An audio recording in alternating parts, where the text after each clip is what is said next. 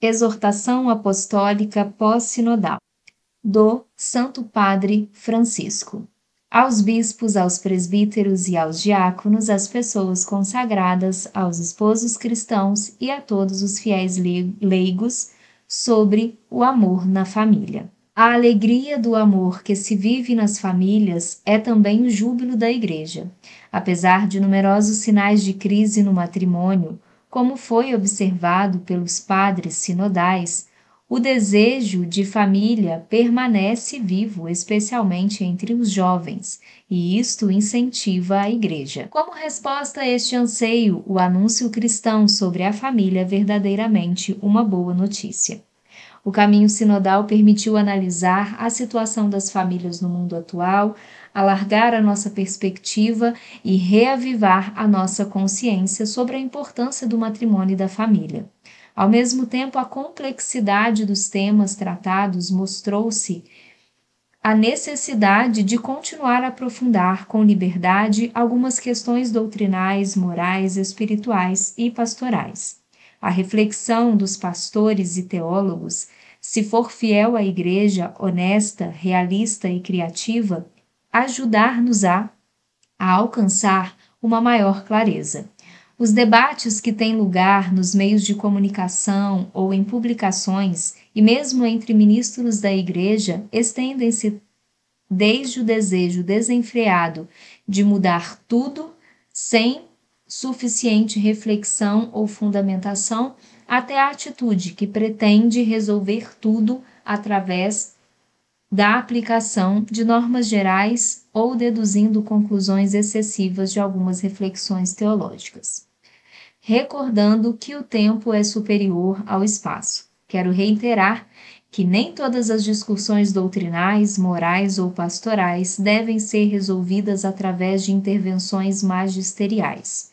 Naturalmente, na Igreja é necessária uma unidade de doutrina e praxis mas isto não impede que existam maneiras diferentes de interpretar alguns aspectos da doutrina ou algumas consequências que decorrem dela. Assim, há de acontecer até que o Espírito nos conduza à verdade completa, isto é, quando nos introduzir perfeitamente no mistério de Cristo e pudermos ver tudo com o seu olhar.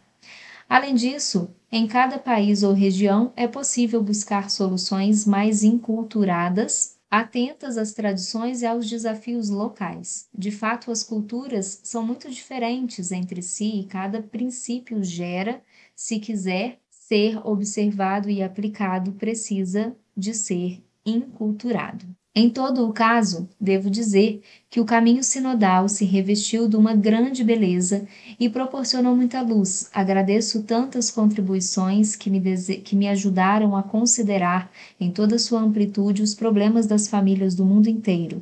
O conjunto das intervenções dos padres que ouvi com atenção constante pareceu-me um precioso poliedro formado por muitas preocupações legítimas e questões honestas e sinceras. Por isso, considerei oportuno redigir uma exortação apostólica pós-sinodal que recolha contribuições dos dois sínodos recentes sobre a família, acrescentando outras considerações que possam orientar a reflexão, o diálogo ou a praxe pastoral e, simultaneamente, ofereçam coragem, estímulo e ajuda às famílias na sua doação e nas suas dificuldades. Esta exortação adquire um significado especial no contexto desse ano jubilar da misericórdia, em primeiro lugar, porque vejo como uma proposta para as famílias cristãs que as estimule a apreciar os dons do matrimônio e da família e a manter um amor forte e cheio de valores como a generosidade, o compromisso, a fidelidade e a paciência. Em segundo lugar, porque se propõe encorajar todos a serem sinais de misericórdia e proximidade para a vida familiar, onde esta não se realize perfeitamente ou não se desenrole em paz e alegria.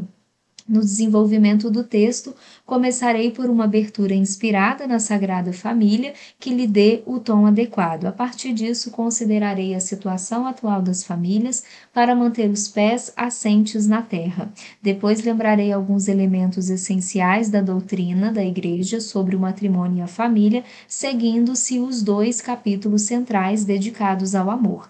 Em seguida, destacarei alguns caminhos pastorais que nos levem a construir famílias sólidas e fecundas segundo o plano de Deus, e dedicarei um capítulo à educação dos filhos.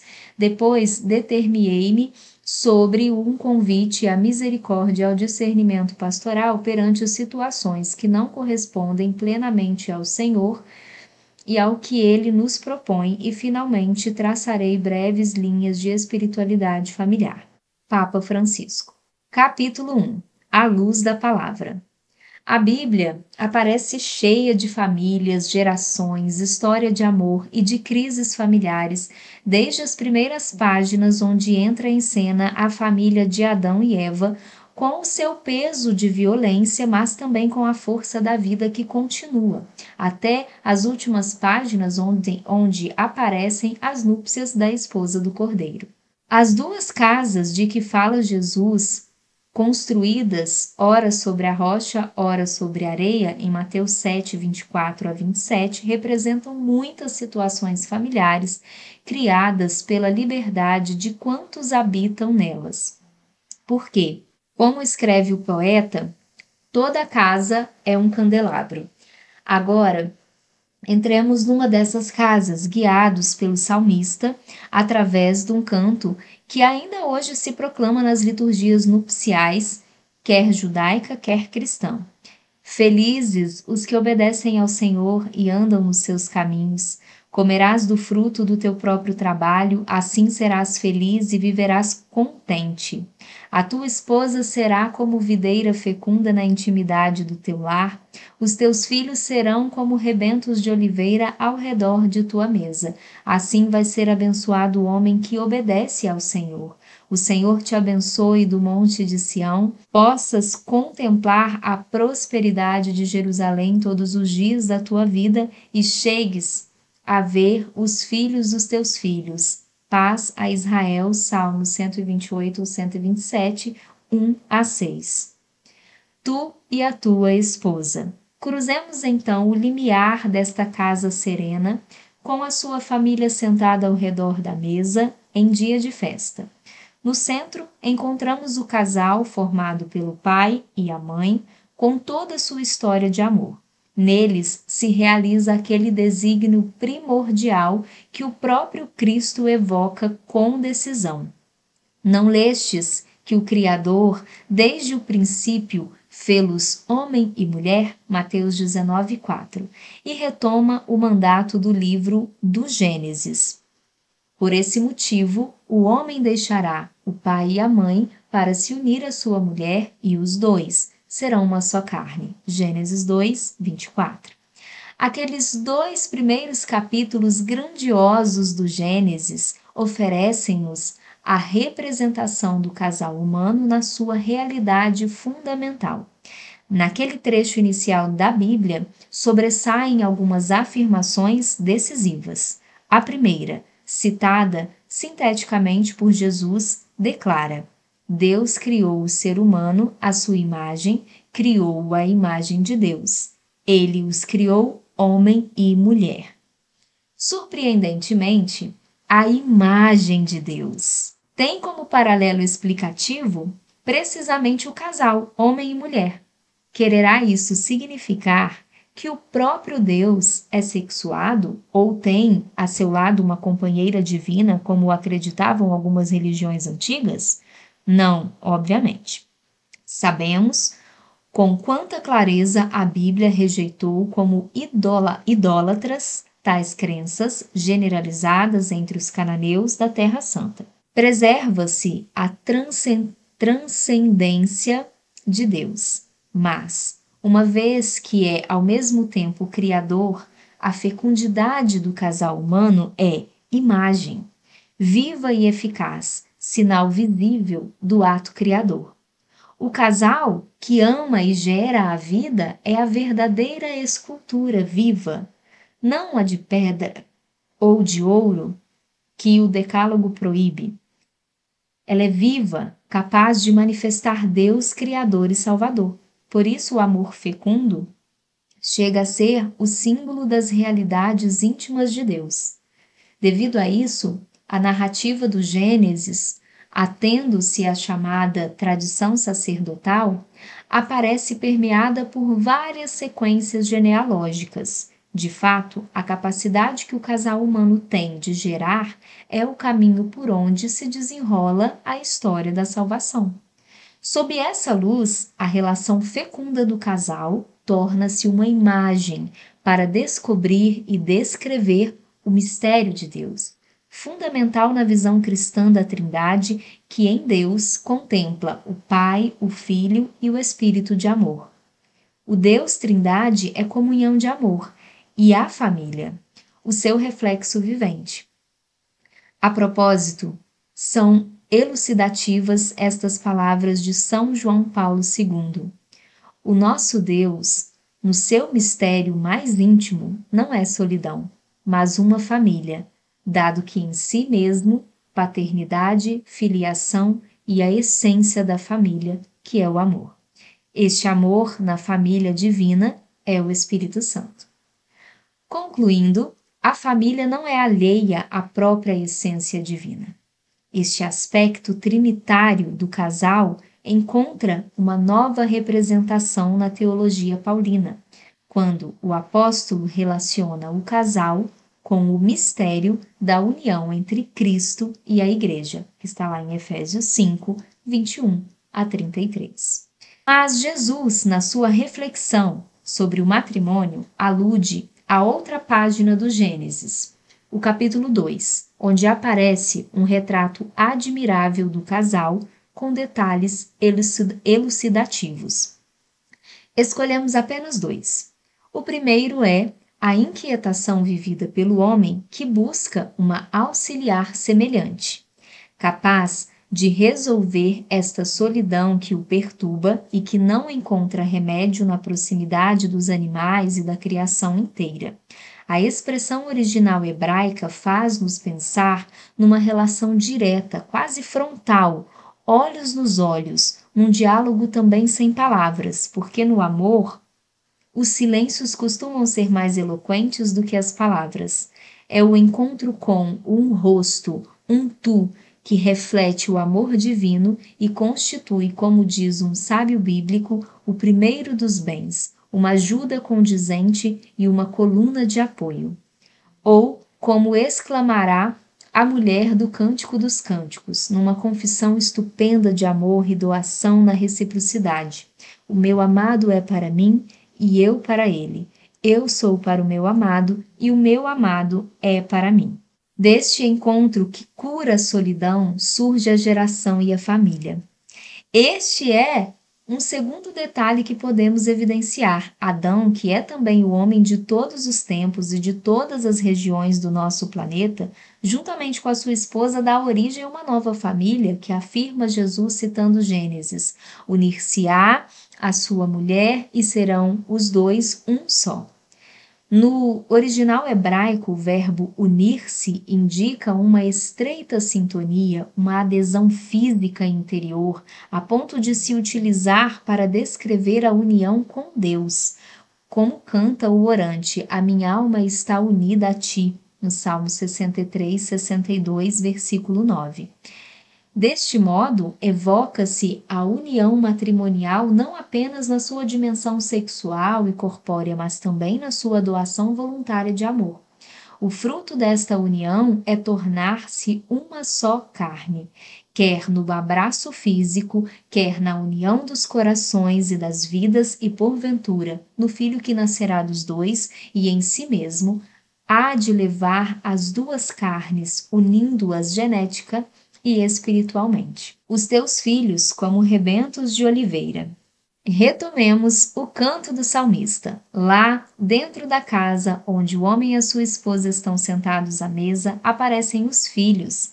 que os acompanham como rebentos de oliveira, isto é, cheios de energia e vitalidade. Se os pais são como que os alicerces da casa, os filhos constituem as pedras vivas da família.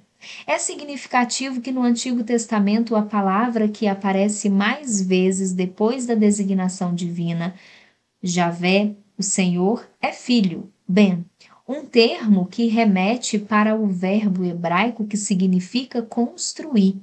Por isso, noutro salmo, exalta-se o dom dos filhos com imagens que aludem quer à edificação de uma casa, quer à vida social e comercial que se desenrola, desen, desenrolava às portas da cidade.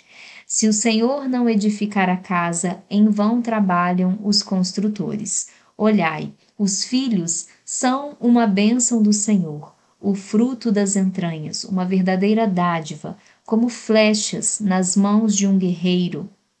São assim os filhos nascidos na virtude. Feliz o homem que deles encheu a sua aljava. Não será envergonhado pelos seus inimigos quando com eles discutir as portas da cidade. Salmo 127, 126, versículos 1 3 a 5.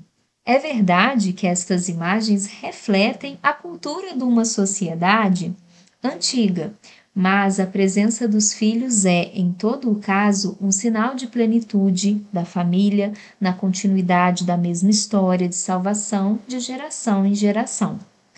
Sob esta luz, podemos ver outra dimensão da família. Sabemos que no Novo Testamento se fala da igreja que se reúne em casa o espaço vital de uma família podia transformar-se em igreja doméstica, em local da Eucaristia, da presença de Cristo sentado à mesma mesa.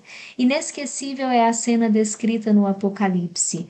Olha que eu estou à porta e bato. Se alguém ouvir a minha voz e abrir a porta, eu entrarei na sua casa e cearei com ele e ele comigo. Apocalipse 3, 20.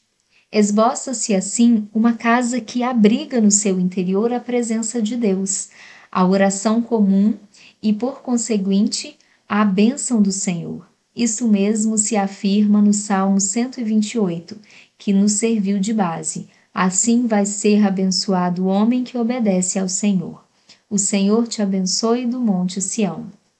A Bíblia considera a família também como um local de catequese dos filhos Vê-se isso claramente na descrição da celebração pascal, mais tarde explicitado concretamente no diálogo que acompanha o rito da ceia pascal. Eis como um salmo exalta o anúncio familiar da fé. O que ouvimos e aprendemos e os nossos antepassados nos transmitiram, não ocultaremos aos seus descendentes tudo contaremos às gerações vindouras, as glórias do Senhor e o seu poder e as maravilhas que ele fez.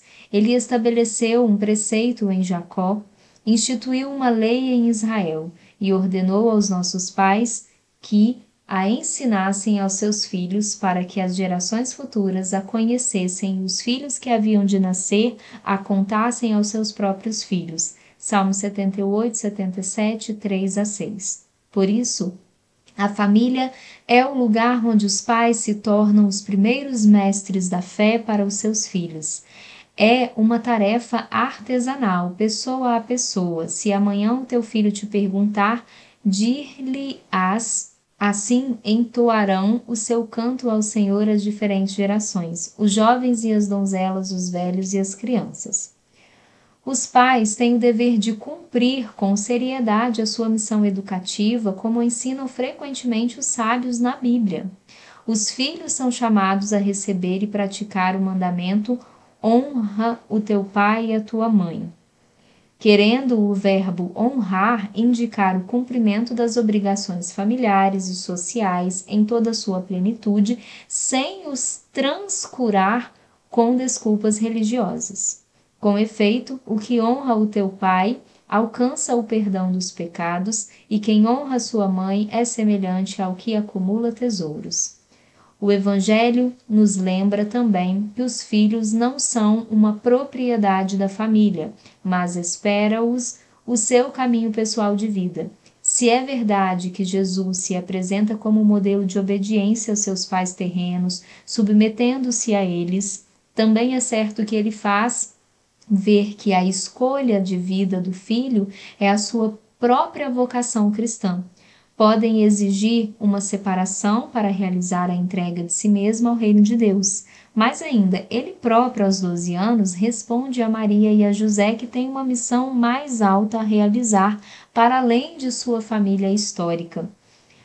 Por isso, exalta a necessidade de outros laços mais profundos, mesmo dentro das relações familiares. Minha mãe e meus irmãos são aqueles que ouvem a palavra de Deus e as põem em prática. Por outro lado, Jesus presta tal atenção às crianças consideradas na sociedade do Médio Oriente Antigo como sujeitos sem particulares direitos e, inclusivamente, como parte da propriedade familiar que chega ao ponto de as propor aos adultos como mestres, devido à sua confiança simples e espontânea nos outros. Em verdade vos digo: se não voltardes a ser como as criancinhas, não podereis entrar no reino do céu. Quem, pois, se fizer humilde como este menino, será o maior do reino dos céus. Mateus 18, de 3 a 4. Um rastro de sofrimento e sangue. O idílio que o Salmo 128 apresenta não nega uma amarga realidade que marca toda a Sagrada Escritura. É a presença do sofrimento, do mal, da violência, que dilaceraram a vida da família e a sua comunhão íntima de vida e de amor. Não é de estranhar que o discurso de Cristo sobre o matrimônio apareça inserido numa disputa a respeito do divórcio, Mateus 19, de 3 a 9. A palavra de Deus é testemunha constante desta dimensão obscura que assoma já nos primórdios, quando, com o pecado, a relação de amor e pureza entre o homem e a mulher se transforma num domínio. Procurarás apaixonadamente o teu marido, mas ele te dominará. Gênesis 3,16. É um rastro de sofrimento e sangue que atravessa muitas páginas da Bíblia, a começar pela violência fraterna tricida de Caim contra Abel e dos vários litígios entre os filhos e entre as esposas dos patriarcas Abraão, Isaac, Jacó, passando pelas tragédias que cobrem de sangue a família de Davi, até as numerosas dificuldades familiares que registra a história de Tobias ou a confissão amarga de Jó abandonado. Deus, Afastou de mim os meus irmãos, os meus amigos, retiraram-se como estranhos, a minha mulher sente repugnância do meu hálito e tornei-me um fédito para os meus próprios filhos. O próprio Jesus nasce numa família modesta que a pressa tem de fugir para uma terra estrangeira. Entra na casa de Pedro, onde a sua sogra está doente, deixa-se envolver no drama da morte da casa de Jairo ou no lar de Lázaro, Houve o pranto desesperado da viúva de Naim pelo seu filho morto. Atende o grito do pai do epilético numa pequena povoação rural. Encontra-se com publicanos como Mateus ou Zaqueu nas suas próprias casas e também com pecadoras como a mulher que invade a casa do fariseu conhece as ansiedades e as tensões das famílias, inserindo-as nas suas parábolas, desde filhos que deixam a própria casa para tentar alguma aventura, até filhos difíceis com comportamentos inexplicáveis, ou vítimas da violência. Interessa-se ainda pela situação embaraçosa que se vive numas bodas pela falta de vinho ou pela recusa dos convidados a participar nelas, e conhece também o pesadelo que representa a perda de uma moeda numa família pobre. Nesta breve resenha, podemos comprovar que a palavra de Deus não se apresenta como uma sequência de teses abstratas, mas como uma companheira de viagem, mesmo para as famílias que estão em crise ou imersas em alguma tribulação, mostrando-lhes a meta do caminho, quando Deus enxugar todas as lágrimas dos seus olhos, e não haverá mais morte, nem luto, nem pranto, nem dor. Apocalipse 21, 4. o fruto do teu próprio trabalho. No início do Salmo 128, o pai é apresentado como um trabalhador que pode, com a obra das suas mãos, manter o bem-estar físico e, ser, e a seriedade da sua família. Comerás do fruto do teu trabalho, assim serás feliz e viverás contente. No versículo 2. O fato de o trabalho ser uma parte fundamental da dignidade da vida humana deduz-se das primeiras páginas da Bíblia, quando se afirma que Deus colocou o homem no jardim do Éden para o cultivar e também para o guardar. Temos aqui a imagem do trabalhador que transforma a matéria e aproveita as energias da criação, fazendo nascer o pão de tanta fadiga, para além de se cultivar a si mesmo. O trabalho torna possível simultaneamente o desenvolvimento da sociedade, o sustento da família e também a sua estabilidade e fecundidade.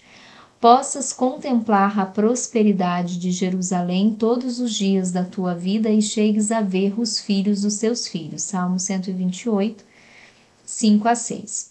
No livro dos Provérbios, realça-se também a tarefa da mãe de família, cujo trabalho aparece descrito nas suas múltiplas mansões diárias, merecendo o elogio do marido e dos filhos. O próprio apóstolo Paulo sentia-se orgulhoso por ter vivido sem ser um fardo para os outros, porque trabalhou com as suas mãos, garantindo-se deste modo o sustento.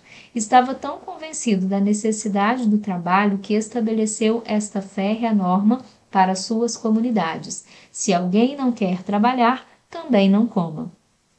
Dito isto, compreende-se que o desemprego e a precariedade laboral gerem sofrimento, como atesta o livro de Ruth e como lembra Jesus na parábola dos trabalhadores sentados em ócio forçado na praça da localidade, Mateus 20, de 1 a 16 ou como pôde verificar pessoalmente, vendo-se muitas vezes rodeado de necessitados e famintos. Isso mesmo vive tragicamente a sociedade atual em muitos países e esta falta de emprego afeta de várias maneiras a serenidade das famílias.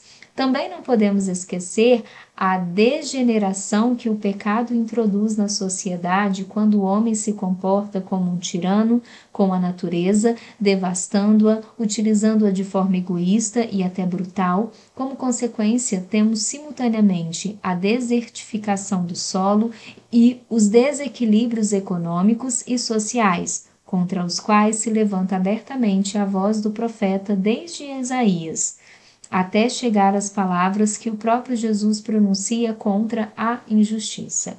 A ternura do abraço.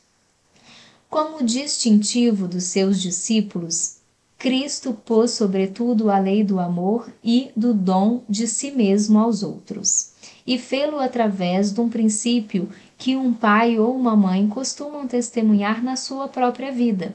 Ninguém tem maior amor do que quem dá a vida pelos seus amigos. João 15, 13. Frutos do amor são também a misericórdia e o perdão. Nesta linha é emblemática a cena que nos apresenta uma adúltera na esplanada do Templo de Jerusalém, primeiro rodeada pelos seus acusadores e depois sozinha com Jesus, que não a condena, mas convida a uma vida mais digna. João 8, de 1 a 11. No horizonte do amor, essencial na experiência cristã do matrimônio e da família, destaca-se ainda outra virtude, um pouco ignorada nestes tempos de relações frenéticas e superficiais, a ternura. Detenhamo-nos no terno, no terno e denso salmo 131, onde, como se observa, aliás, noutros textos, a união entre o fiel e o seu Senhor é expressa com traços de amor paterno e materno. Lá aparece a intimidade delicada e carinhosa entre a mãe e o seu bebê, um recém-nascido que dorme nos braços de sua mãe depois de ter sido amamentado.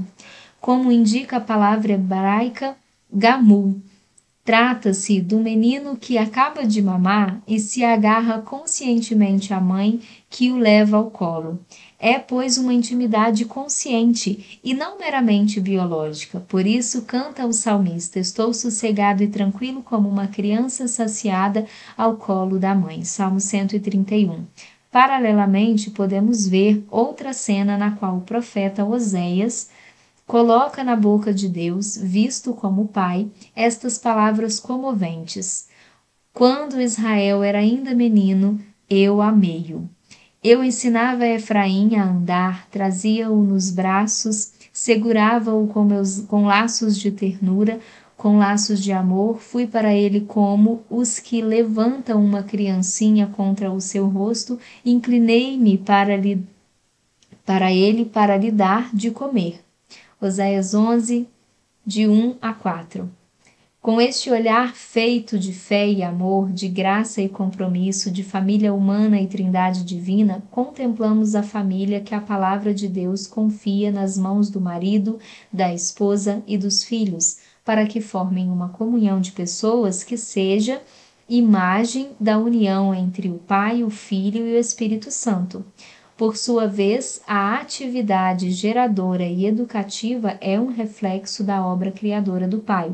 A família é chamada a compartilhar a oração diária, a leitura da palavra de Deus e a comunhão eucarística, para fazer crescer o amor e tornar-se cada vez mais um templo onde habita o Espírito Santo. Cada família tem diante de si o ícone da família de Nazaré com o seu dia a dia feito de fadigas e até de pesadelos, como quando teve que sofrer a violência incompreensível de Herodes, experiência que ainda hoje se repete tragicamente em muitas famílias de refugiados descartados e inermes como os magos, as famílias são convidadas a contemplar o menino com a sua mãe, a prostrar-se e a adorá-lo.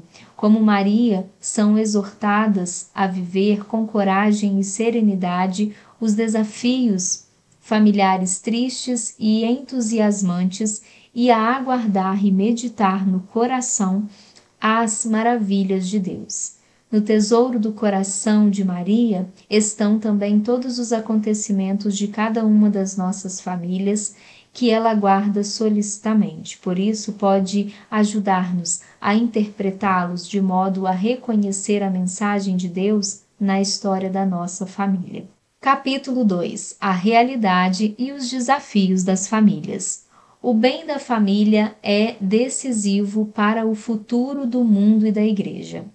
Inúmeras são as análises feitas sobre o matrimônio e a família, sobre as suas dificuldades e desafios atuais, é salutar prestar atenção à realidade concreta, porque os pedidos e os apelos do Espírito ressoam também nos acontecimentos da história, através dos quais a Igreja pode ser guiada para uma compreensão mais profunda do inexaurível mistério do matrimônio e da família. Não tenho a pretensão de apresentar aqui tudo aquilo que poderia ser dito sobre os vários temas relacionados com a família no contexto atual. Mas, dado que os padres sinodais ofereceram um panorama da realidade das famílias de todo o mundo, considero oportuno recolher algumas das suas contribuições pastorais, acrescentando outras preocupações derivadas da minha própria visão. A situação atual da família. Fiéis ao ensinamento de Cristo, olhamos a realidade atual da família em toda a sua complexidade, nas suas luzes e sombras. Hoje, a mudança antropológico-cultural influencia todos os aspectos da vida e requer uma abordagem analítica e diversificada. Já no contexto de várias décadas atrás, os bispos da Espanha reconheciam uma realidade doméstica com mais espaços de liberdade, com uma distribuição equitativa de encargos, responsabilidades e tarefas, valorizando mais a comunicação pessoal entre os esposos, contribuindo-se para humanizar toda a vida familiar. Nem a sociedade em que vivemos, nem aquela para onde caminhamos permite a sobrevivência indiscriminada de formas e modelos do passado.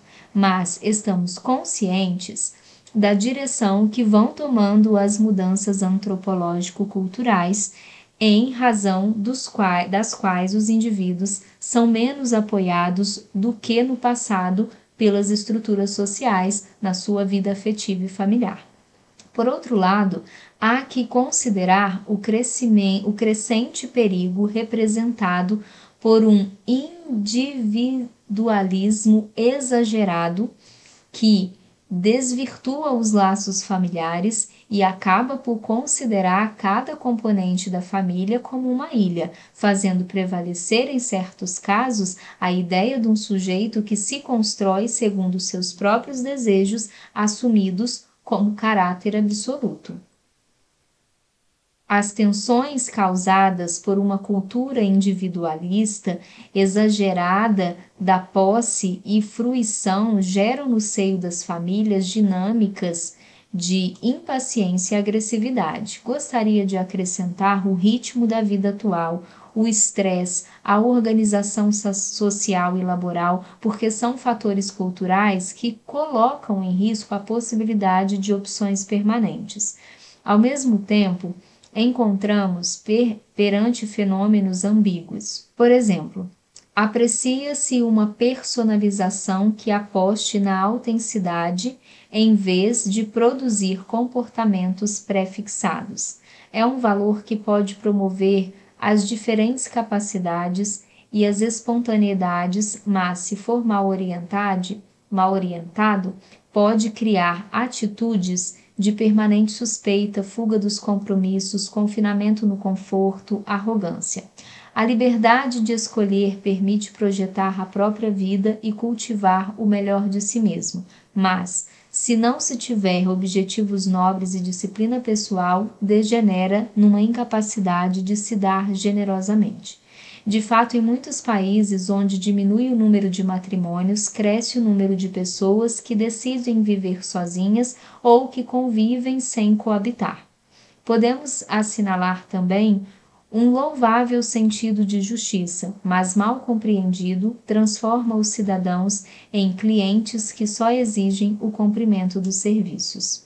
Se estes riscos se transpõem para o modo de compreender a família, esta pode transformar-se num lugar de passagem onde uma pessoa vai quando lhe parecer conveniente para si mesma ou para reclamar direitos, enquanto os vínculos são deixados à precariedade volúvel dos desejos e das circunstâncias.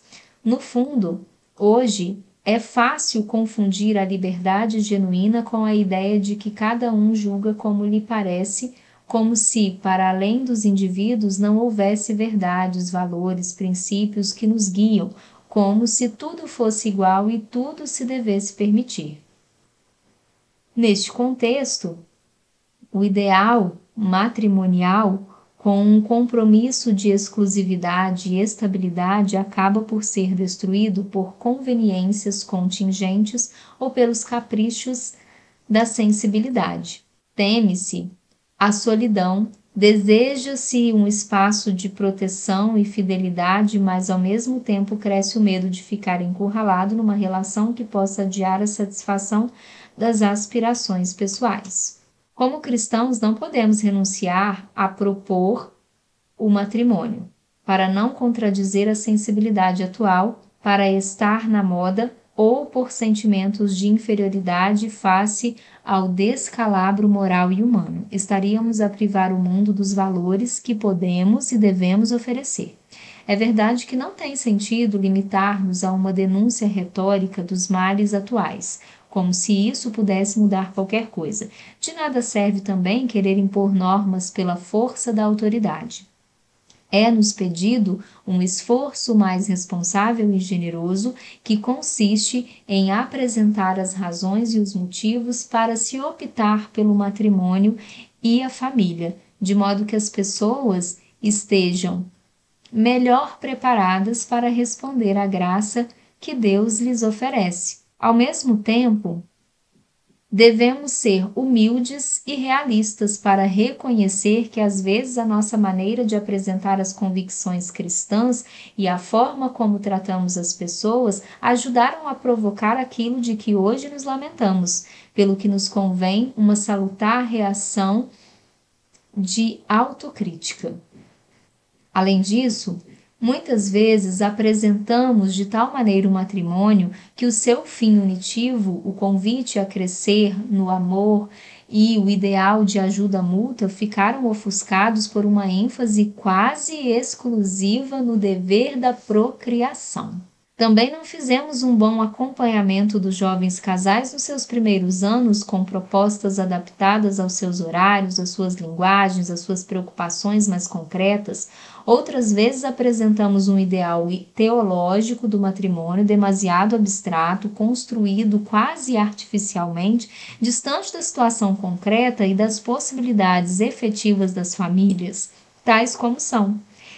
Esta excessiva idealização, sobretudo, quando não despertamos a confiança da graça não fez com que o matrimônio fosse mais desejável, atraente, muito, muito pelo contrário. Durante muito tempo pensávamos que a simples insistência em questões doutrinais, bioéticas e morais, sem motivar a abertura à graça, já apoiávamos suficiente as famílias, consolidávamos o vínculo dos esposos e enchíamos de sentido as suas vidas compartilhadas. Temos dificuldade em apresentar o matrimônio como um caminho dinâmico de crescimento e realização do que como fardo a carregar a vida inteira. Também nos custa deixar o espaço à consciência dos fiéis, que muitas vezes respondem o melhor que podem ao Evangelho no meio de seus limites e são capazes de realizar o seu próprio discernimento perante situações onde se rompem todos os esquemas somos chamados a formar as consciências, não a pretender substituí-las. Devemos dar graças pela maioria das pessoas, valorizar as relações familiares que querem permanecer no tempo e garantem o respeito pelo outro. Por isso, Aprecia-se que a Igreja ofereça espaços de apoio e aconselhamento sobre questões relacionadas com o crescimento do amor, a superação dos conflitos e a educação dos filhos. Muitos estimam a força da graça que experimentam na reconciliação sacramental e na Eucaristia, que lhes permite enfrentar os desafios do matrimônio e da família. Em alguns países, especialmente em várias partes da África, o secularismo não conseguiu enfraquecer alguns valores tradicionais e em cada matrimônio gera-se uma forte união entre duas famílias alargadas, onde se conserva ainda um sistema bem definido de gestão de conflitos e dificuldades. No mundo atual, aprecia-se também o testemunho dos cônjuges que não se limitam a perdurar no tempo, mas continuam a sustentar um projeto comum e conservam o afeto. Isso abre a porta a uma pastoral positiva, aconselhadora, que torna possível um aprofundamento gradual das exigências do Evangelho. No entanto, muitas vezes, agimos na defensiva e gastamos as energias pastorais multiplicando os ataques ao mundo decadente com pouca capacidade de propor e indicar caminhos de felicidade. Muitos não sentem a mensagem da Igreja sobre o matrimônio e a família como um reflexo claro da pregação e das atitudes de Jesus, o qual, ao mesmo tempo que propunha um ideal exigente, não perdia jamais a proximidade compassiva às pessoas frágeis, como a samaritana ou a mulher adúltera. Isso não significa deixar de advertir a decadência cultural que não promove o amor e a doação. As consultações que antecedem os dois últimos sínodos trouxeram à luz vários sintomas da cultura do provisório. Refiro-me, por exemplo, à rapidez com que as pessoas passam de uma relação afetiva para outra. Creem que o amor, como acontece nas redes sociais, se possa conectar ou desconectar a gosto de um consumidor e, inclusive, bloquear rapidamente. Penso também no medo que desperta a perspectiva de um compromisso permanente, na observação, na obsessão pelo tempo livre, nas relações que medem custos e benefícios e mantêm-se apenas se forem um meio para remediar a solidão. Tem, ter proteção ou receber algum serviço. Transpõe-se para as relações afetivas o que acontece com os objetos e o meio ambiente. Tudo é descartável. Cada um usa e joga fora, gasta e rompe. Aproveita e espreme enquanto serve, depois, adeus. O narcisismo torna as pessoas incapazes de olhar para além de si mesmas, dos seus desejos e necessidades, mas quem usa os outros mais cedo ou mais tarde acaba por ser usado, manipulado e abandonado com a mesma lógica. Faz impressão ver que essas que as rupturas ocorrem frequentemente entre adultos já de meia idade que buscam uma espécie de autonomia e rejeitam o ideal de envelhecer juntos, cuidando-se e apoiando-se. Correndo o risco de simplificar, poderemos dizer que vivemos numa cultura que impede os jovens a não formarem uma família porque privam-nos de possibilidades para o futuro, mas esta mesma cultura apresenta outras tantas opções que também eles são dissuadidos de formar uma família. Em alguns países, muitos jovens são frequentemente levados a adiar o matrimônio por problemas do tipo econômico, laboral ou de estudo, às vezes também por outros motivos, tais como a influência das ideologias que desvalorizam o matrimônio e a família, a experiência do fracasso de outros casais a que eles não se querem expor, o medo de algo que consideram demasiado grande e sagrado, as oportunidades sociais e os benefícios econômicos derivados da conveniência, da convivência,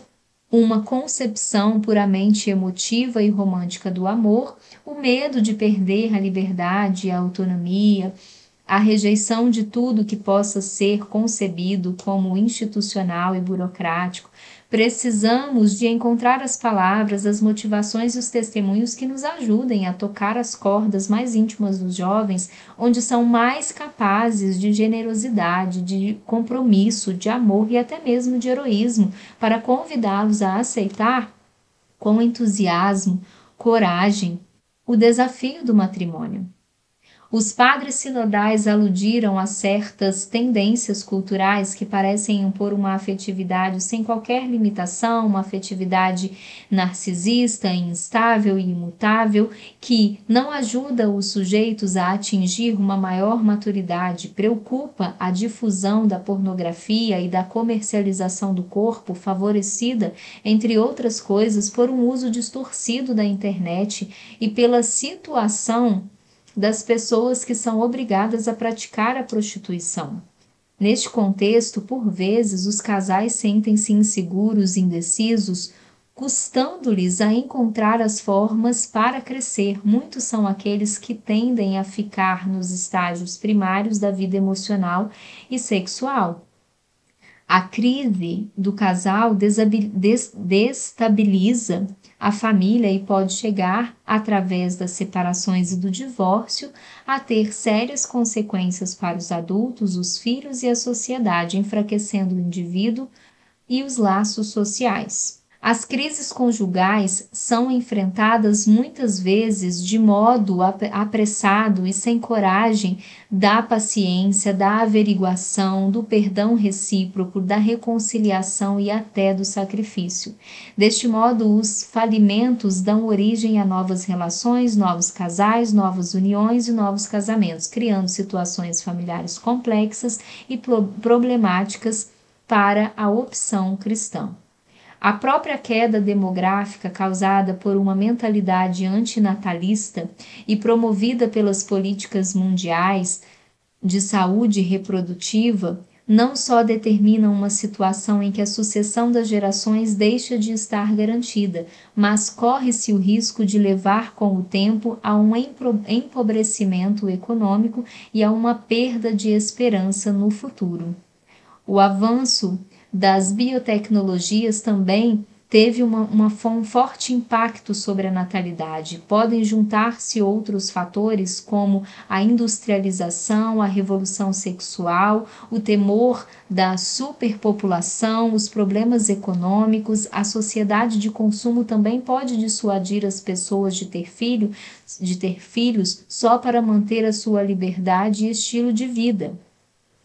É verdade que a consciência reta dos esposos, quando foram muito generosos na transmissão da vida, pode orientá-los para a decisão de limitar o número de filhos por razões suficientemente sérias e também por amor desta dignidade da consciência, a Igreja rejeita com todas as suas forças as intervenções coercitivas do Estado a favor da contracepção, da esterilização e até mesmo do aborto.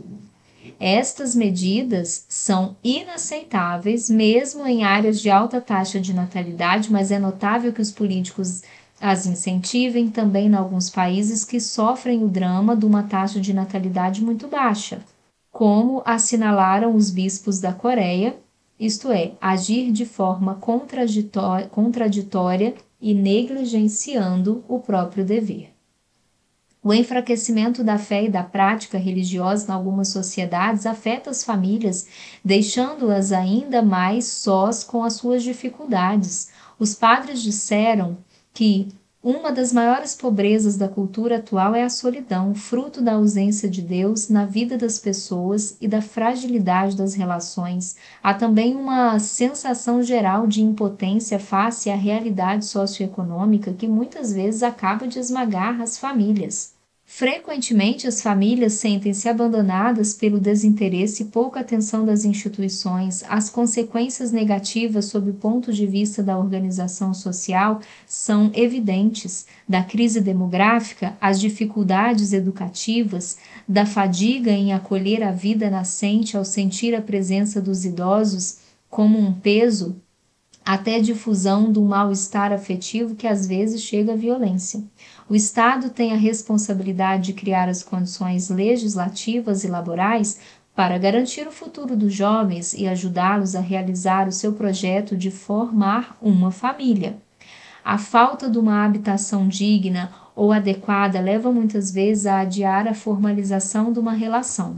É preciso lembrar que a família tem direito a uma habitação condigna, apropriada para a vida familiar e proporcional ao número de seus membros, num ambiente fisicamente sadio que proporcione os serviços básicos para a vida da família e da comunidade. Uma família e uma casa são duas realidades que se reclamam mutuamente. Este exemplo mostra que devemos insistir nos direitos da família e não apenas nos direitos individuais. A família é um bem de que a, que a sociedade não pode prescindir, mas precisa de ser protegida. A defesa desses direitos é um apelo profético a favor da instituição familiar, que deve ser respeitada e defendida contra toda a agressão, sobretudo no contexto atual em que habitualmente ocupa pouco espaço nos projetos políticos.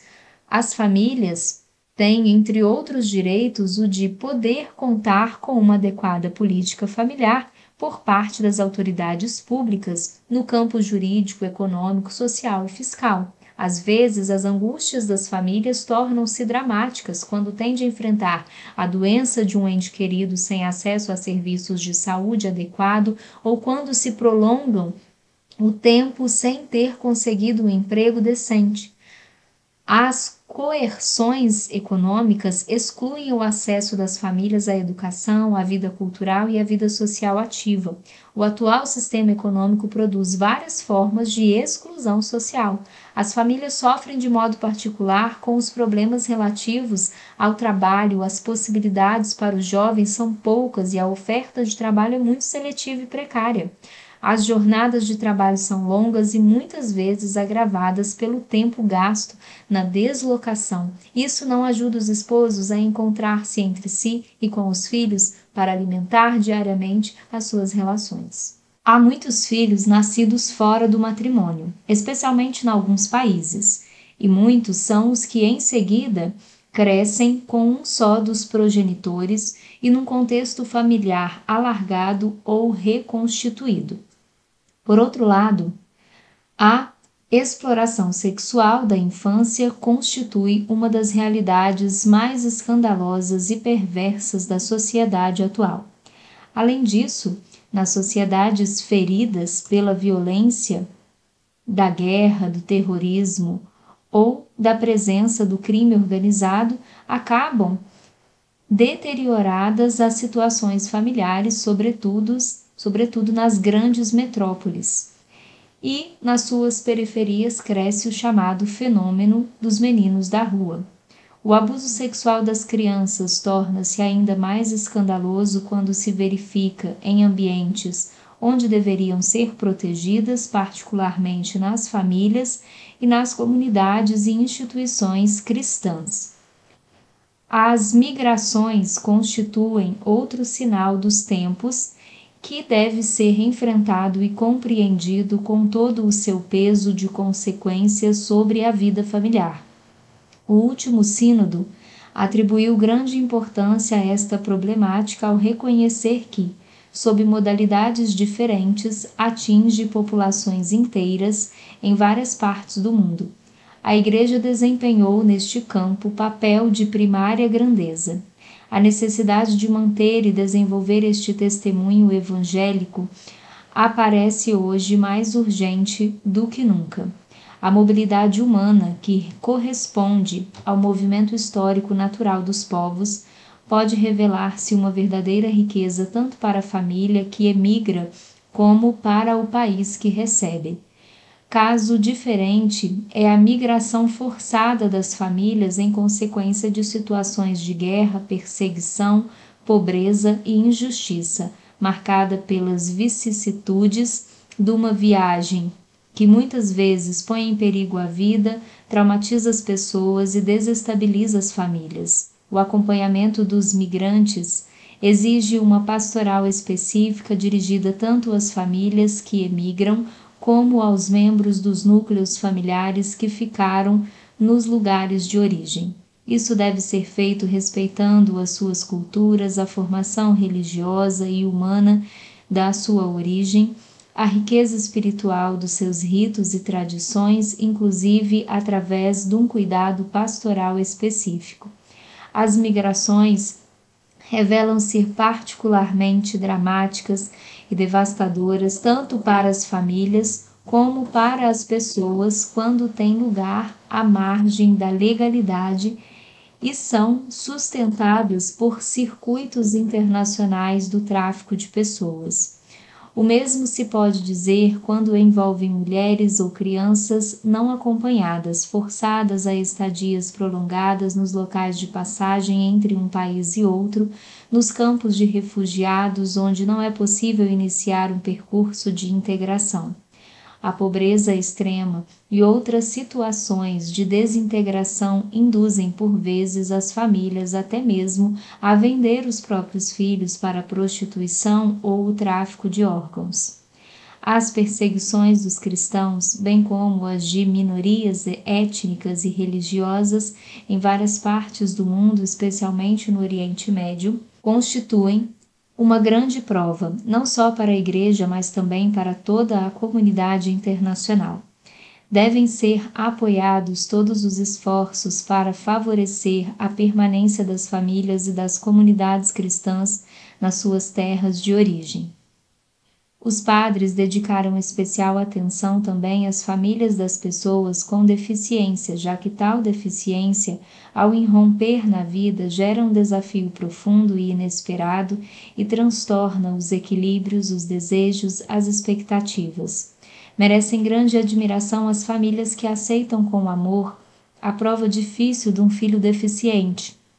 Dão à Igreja e à sociedade um valioso testemunho de fidelidade ao dom da vida a família poderá descobrir, juntamente com a comunidade cristã, novos gestos e linguagens, formas de compreensão e identidade no percurso de acolhimento e cuidado do mistério da fragilidade.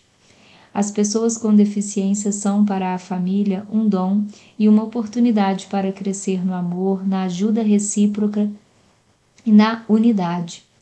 A família que aceita com os olhos da fé a presença de pessoas com deficiência poderá reconhecer e garantir a qualidade e o valor de cada vida, com as suas necessidades, os seus direitos e as suas oportunidades. Tal família providenciará assistência e cuidados e promoverá a companhia e carinho em cada fase da vida. Quero sublinhar que a atenção prestada tanto aos migrantes como às pessoas com deficiência é um sinal do espírito, pois ambas as situações são paradigmáticas, põem especialmente em questão o modo como se vive hoje, a lógica do acolhimento misericordioso e da integração das pessoas frágeis.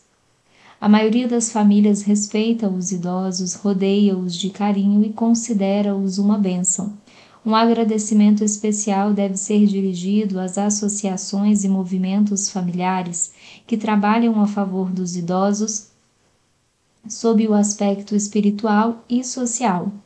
Nas sociedades altamente industrializadas, onde o seu número tende a aumentar enquanto diminui a taxa de natalidade, os idosos correm o risco de ser vistos como um peso.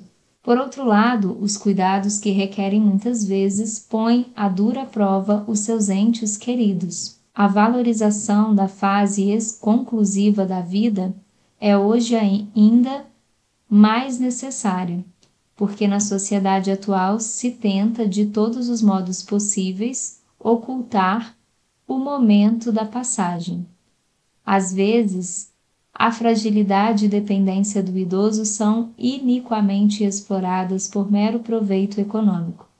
Muitas famílias ensinam-nos que é possível enfrentar os últimos anos da vida valorizando o sentido de realização e integração de toda a existência no mistério pascal. Um grande número de idosos é acolhido em estruturas da igreja, onde podem viver num ambiente sereno e familiar a nível material e espiritual. A eutanásia e o suicídio assistido são graves ameaças para as famílias em todo o mundo. A sua prática é legal em muitos estados. A Igreja, ao mesmo tempo que se opõe firme e a tais práticas, sente o dever de ajudar as famílias a cuidar de seus membros idosos e doentes. Quero assinalar a situação das famílias caídas na miséria, penalizadas de tantas maneiras onde as limitações da vida se fazem sentir de forma lancinante. Se todos têm dificuldades, estas numa casa muito pobre tornam-se mais duras. Por exemplo, se uma mulher deve criar o seu filho sozinha devido a uma separação ou por outras causas e tem de ir trabalhar sem a possibilidade de o deixar com outra pessoa, o filho cresce num abandono que o expõe a todos os tipos de risco e fica comprometido o seu amadurecimento pessoal.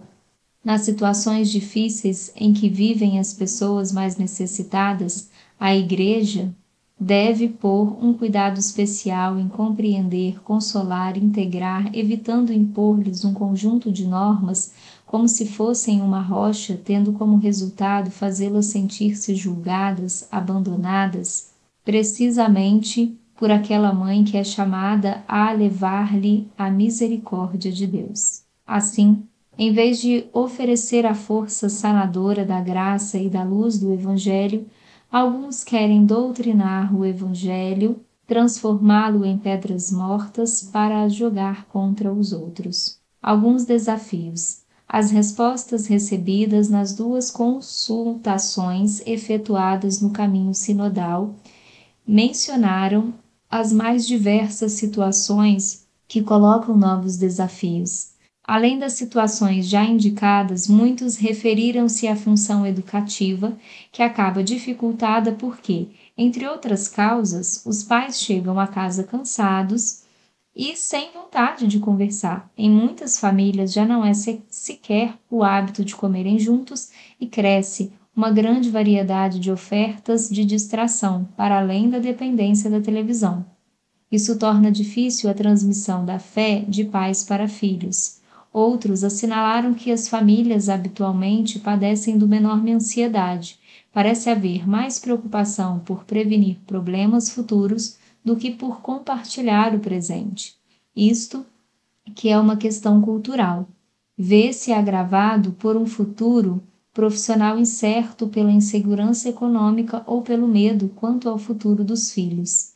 Mencionou-se também a toxodependência como um dos flagelos do nosso tempo que faz sofrer muitas famílias e não raro acaba por destruí-las. Algo semelhante acontece com o alcoolismo os jogos de azar e as outras dependências. A família poderia ser o lugar de prevenção e de boas regras, mas a sociedade e a política não chegam a perceber que uma família em risco perde a capacidade de reação para ajudar os seus membros. Observamos as graves consequências dessa ruptura em famílias destruídas, filhos desenraizados, idosos abandonados, crianças órfãos de pais vivos, adolescentes e jovens desorientados e sem regras. Como apontaram os bispos do México, há tristes situações de violência familiar que são terreno fértil para novas formas de agressividade social, porque as relações familiares explicam também a predisposição para uma personalidade violenta. As famílias que influem nessa direção são aquelas em que há uma comunicação deficiente, aquelas em que predominam as atitudes defensivas e os seus membros não se apoiam entre si, onde não há atividades familiares que favoreçam a participação. As famílias onde as relações entre os pais costumam ser conflituosas e violentas e as relações pais-filhos se descaracterizam por atitudes hostis. A violência no seio da família é escola de ressentimento e ódio nas relações humanas básicas. Ninguém pode pensar que o enfraquecimento da família como sociedade natural fundada no matrimônio seja algo que beneficia a sociedade. Antes, pelo contrário, prejudica o amadurecimento das pessoas, o cultivo dos valores comunitários, o desenvolvimento ético das cidades e das aldeias já não se adverte claramente que só a união exclusiva e indissolúvel entre um homem e uma mulher realiza uma função social plena, por ser um compromisso estável e tornar possível a fecundidade. Devemos reconhecer a grande variedade de situações familiares que podem fornecer uma certa regra de vida, mas as uniões de fato ou entre pessoas do mesmo sexo, por exemplo, não podem ser simplistamente equiparadas ao matrimônio. Nenhuma união precária ou fechada à transmissão da vida garante o futuro da sociedade. E, todavia, quem se preocupa hoje com fortalecer os cônjuges, ajudá-los a superar os riscos que os ameaçam, acompanhá-los no seu papel educativo incentivar a estabilidade da união conjugal? Em algumas sociedades vigora ainda a prática da poligamia, Noutros contextos, permanece a prática dos matrimônios combinados.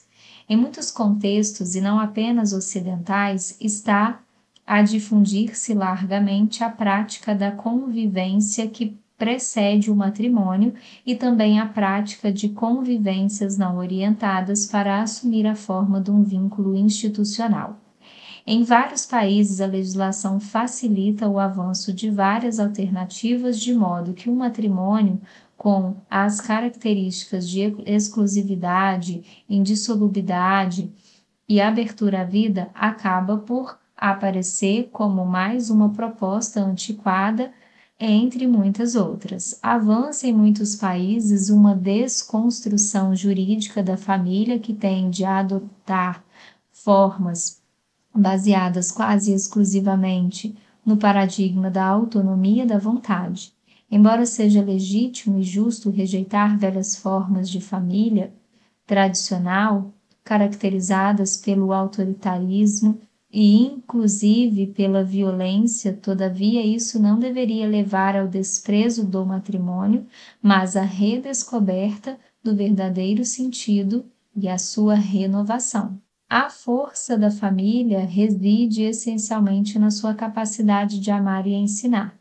Por muito ferida que possa estar uma família, ela pode sempre crescer a partir do amor. Neste relance sobre a realidade, desejo salientar que, apenas, que apesar das melhorias notáveis registradas no reconhecimento dos direitos da mulher e na sua participação no espaço público, ainda há muito que avançar em alguns países. Não se acabou ainda de erradicar costumes inaceitáveis Destaco a violência vergonhosa que às vezes se exerce sobre as mulheres, os maus tratos familiares e várias formas de escravidão que não constituem um sinal de força masculina, mas uma covarde degradação.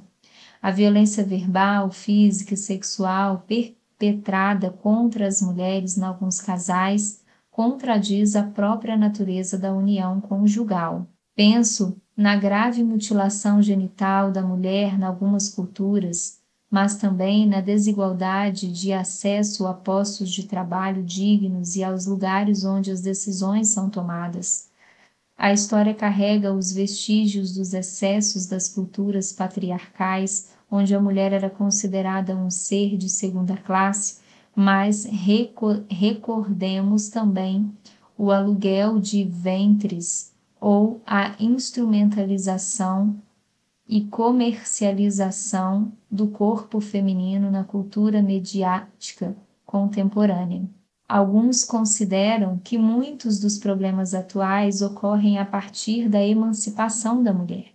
Mas este argumento não é válido. É falso, não é verdade. Trata-se de uma forma de machismo. A idêntica dignidade entre homem e mulher impele a alegrar-nos com a superação de velhas formas de discriminação e o desenvolvimento de um estilo de reciprocidade dentro das famílias.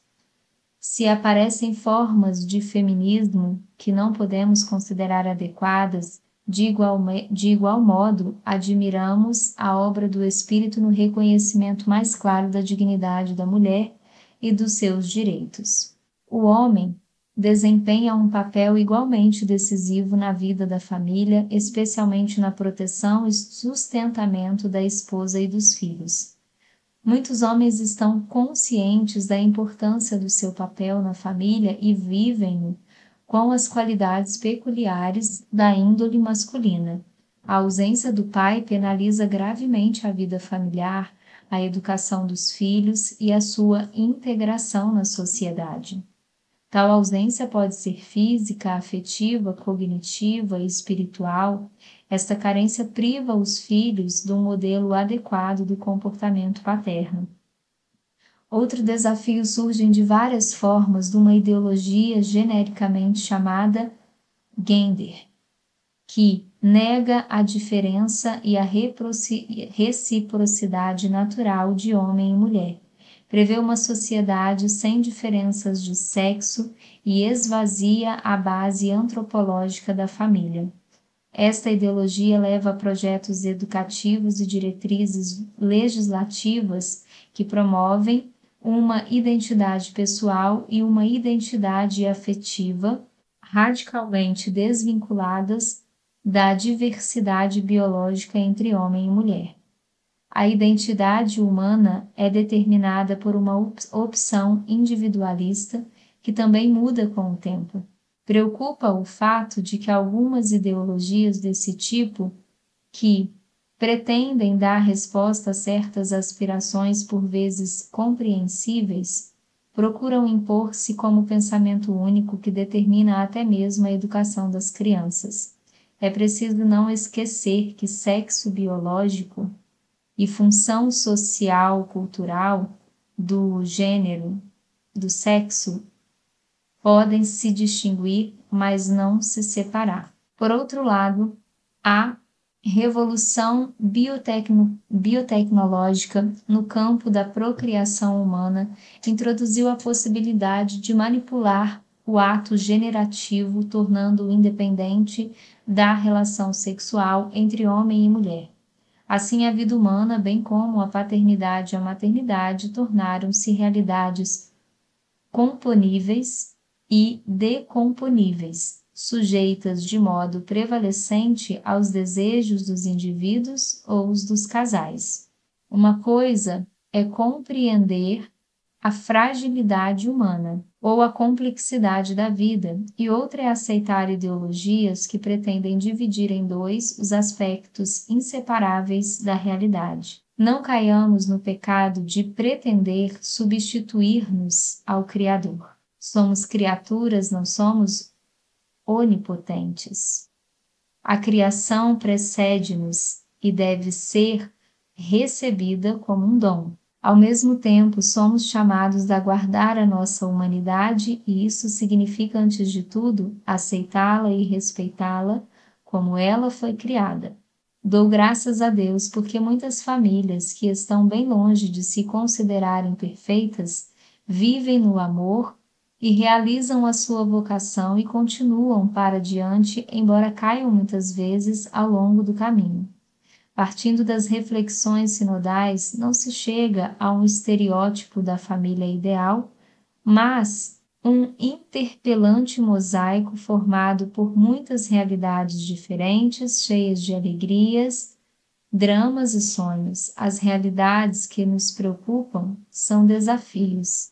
Não caiamos na armadilha de nos consumirmos em lamentações autodefensivas em vez de suscitar uma criatividade missionária. Em todas as situações, a Igreja sente a necessidade de dizer uma palavra de verdade, de esperança. Os grandes valores matrimônio, do matrimônio e da família cristã correspondem à busca que atravessa a existência humana. Se constatamos muitas dificuldades, estas são, como disseram os bispos da Colômbia, um apelo para libertar em nós as energias da esperança, traduzindo-as em sonhos proféticos, ações transformadoras e imaginação da caridade. Capítulo 3 Olhar fixo em Jesus, a vocação da família. Diante das famílias e no meio delas, deve ressoar sempre de novo o primeiro anúncio, que é o mais belo, mais importante, mais atraente e, ao mesmo tempo, mais necessário, e deve ocupar o centro da atividade evangelizadora. É o anúncio principal, aquele que sempre se tem de voltar a ouvir de diferentes maneiras e aquele que sempre se tem de voltar a anunciar de uma forma ou doutra. Porque não há de mais sólido, mais profundo, mais seguro, mais consistente, mais sábio que este anúncio. E toda a, a formação cristã é primariamente o aprofundamento do querigma. O nosso ensinamento sobre o matrimônio e a família não pode deixar de se inspirar e transfigurar à luz deste anúncio de amor e ternura. Se não quiser tornar-se mera defesa de uma doutrina fria e sem vida, com efeito, o próprio mistério da família cristã só se pode compreender plenamente à luz do amor infinito do Pai, que se manifestou em Cristo entregue até o fim e vivo entre nós. Por isso quero contemplar Cristo vivo que está presente em tantas histórias de amor e invocar o fogo do Espírito sobre todas as famílias do mundo. Dentro deste quadro, o presente capítulo recolhe uma síntese da doutrina da Igreja sobre o matrimônio e a família.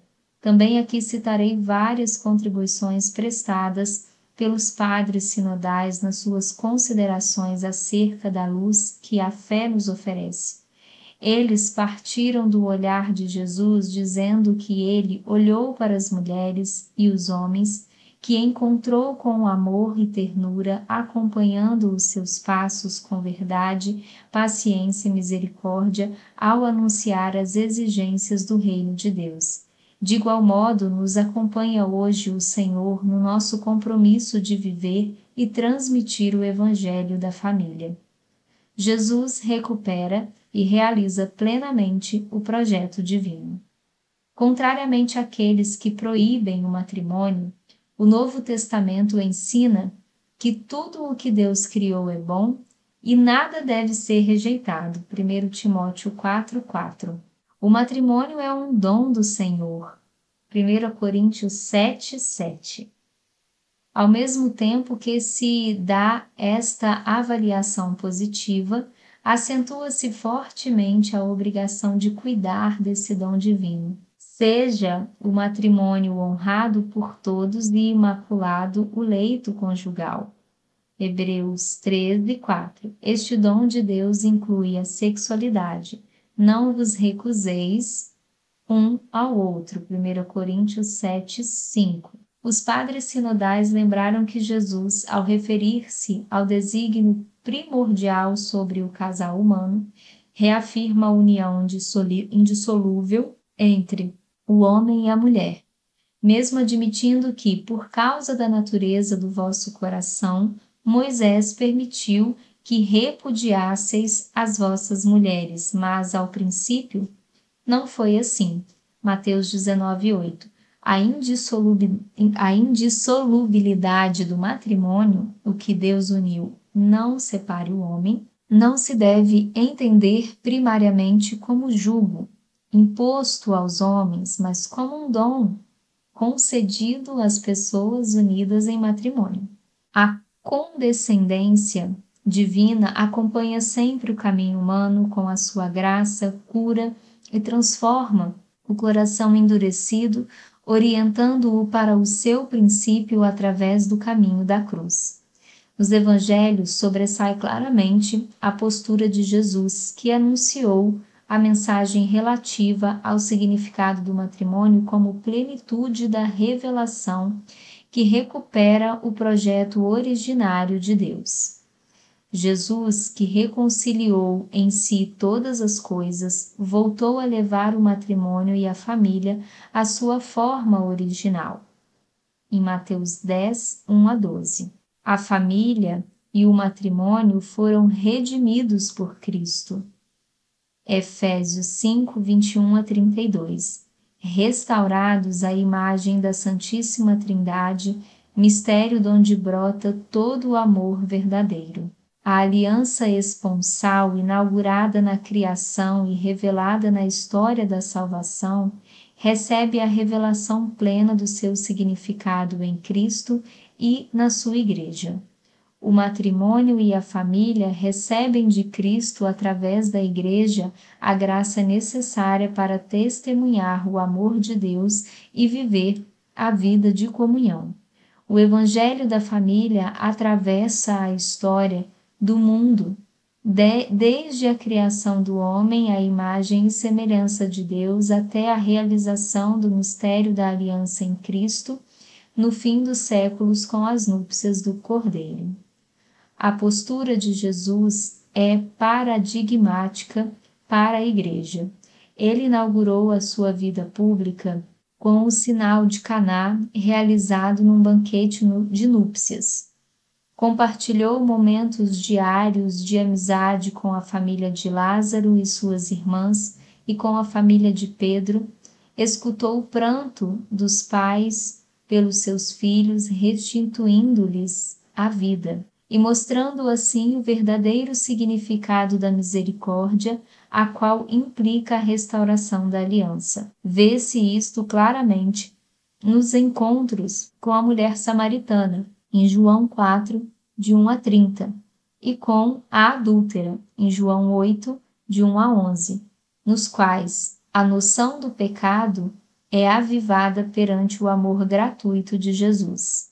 A encarnação do Verbo numa família humana em Nazaré comove com a sua novidade a história do mundo. Precisamos de mergulhar no mistério do nascimento de Jesus, no sim de Maria, ao anúncio do anjo, quando foi concebida a palavra no seu seio, e ainda no sim de José, que deu o nome a Jesus e cuidou de Maria, na festa dos pastores no presépio, na adoração dos magos, na fuga para o Egito, em que Jesus participou no sofrimento do seu povo exilado, perseguido e humilhado, na devota espera de Zacarias e na alegria que acompanhou o nascimento de João Batista, na promessa que Simeão e Ana viram cumprida no templo, na admiração dos doutores da lei ao escutarem a sabedoria de Jesus adolescente e em seguida penetrar nos trinta longos anos em que Jesus ganhava o pão trabalhando com as suas mãos, sussurrando a oração e a tradição crente do seu povo e formando-se na fé dos seus pais até fazê-la frutificar no mistério do reino. Este é o mistério do Natal e o segredo de Nazaré, cheio de perfume e família.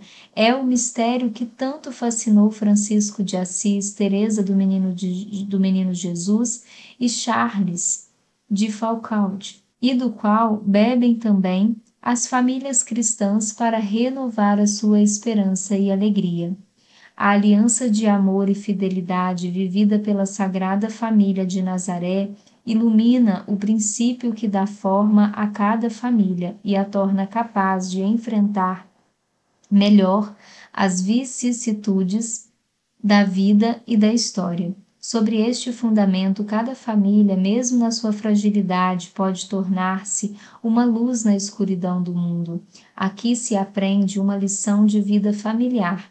Que Nazaré nos ensine o que é a família, a sua comunhão de amor, a sua austera e simples beleza, o seu caráter sagrado e inviolável. Aprendamos de Nazaré como é preciosa e insubstituível a educação familiar e como é fundamental e incomparável a sua função no plano social, a família nos documentos da Igreja.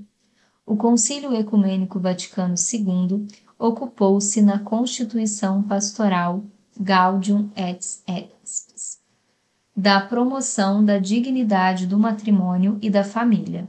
Definiu o matrimônio como comunidade de vida e amor colocando o amor no centro da família. O verdadeiro amor entre marido e mulher implica a mútua doação de si mesmo, inclui e integra a dimensão sexual e afetiva correspondendo ao desígnio divino. Além disso, sublinha o, enra o enraizamento dos esposos em Cristo. Cristo Senhor vem ao encontro dos esposos cristãos com o sacramento do matrimônio e permanece com eles. Na encarnação, ele assume o amor humano, purifica-o, leva-o à plenitude e dá aos esposos, com o seu espírito, a capacidade de viver impregnado toda a sua vida com a fé, a esperança e a caridade. Assim, os cônjuges são, de certo modo, consagrados e, por meio de uma graça própria, edificam o corpo de Cristo e constituem uma igreja doméstica. Lumen Gentium. De tal modo que a igreja, para compreender plenamente o seu mistério, olha para a família cristã que o manifesta de forma genuína. Em seguida, na esteira do Concílio Vaticano II, o beato Paulo VI aprofundou a doutrina sobre o matrimônio e a família, em particular com a encíclica Humana Vita, destacou o vínculo intrínseco entre amor conjugal e procriação. O amor conjugal requer nos esposos uma consciência de sua missão de paternidade responsável, sobre a qual hoje tanto se insiste, e justificadamente que deve também ela ser compreendida com exatidão. O exercício responsável da paternidade implica, portanto, que os cônjuges reconheçam plenamente os seus próprios deveres para com Deus, para consigo próprios, para com a família e para com a sociedade numa justa hierarquia de valores. Na exortação apostólica, Evangelii Nuntiadim, Paulo VI salientou a relação entre a família e a Igreja. São João Paulo II dedicou especial atenção à família através de suas catequeses sobre o amor humano, a Cartas Famílias, Gratissimam Sani e, sobretudo, com a exortação apostólica Familias Consortium. Nestes documentos, o pontífice definiu a família, caminho da Igreja, ofereceu uma visão de conjunto sobre a vocação ao amor do homem e da mulher, propôs as linhas fundamentais para a pastoral da família e para a presença da família na sociedade, concretamente ao tratar da caridade conjugal. Descreveu o modo como os cônjuges, no seu amor mútuo, recebem o dom do Espírito Santo de Cristo e vivem a sua vocação de santidade. Bento XVI, na encíclica Deus Caritas, retomou o tema da verdade do amor entre homem e mulher, que se vê iluminado plenamente apenas à luz do amor de Cristo crucificado. Sublinha que o matrimônio baseado num amor exclusivo e definitivo torna-se o ícone do relacionamento de Deus com o seu povo e vice-versa. O modo de Deus amar torna-se medida, torna-se a medida do amor humano. Além disso, na encíclica Caritas in, verita, in Veritate, destaca a importância do amor como princípio da vida na sociedade, lugar onde se aprende a experiência do homem comum. O sacramento do matrimônio, a sagrada família e a tradição abrem-nos o acesso a um conhecimento da Trindade que se revela nos traços familiares. A família é imagem de Deus, que é comunhão de pessoas.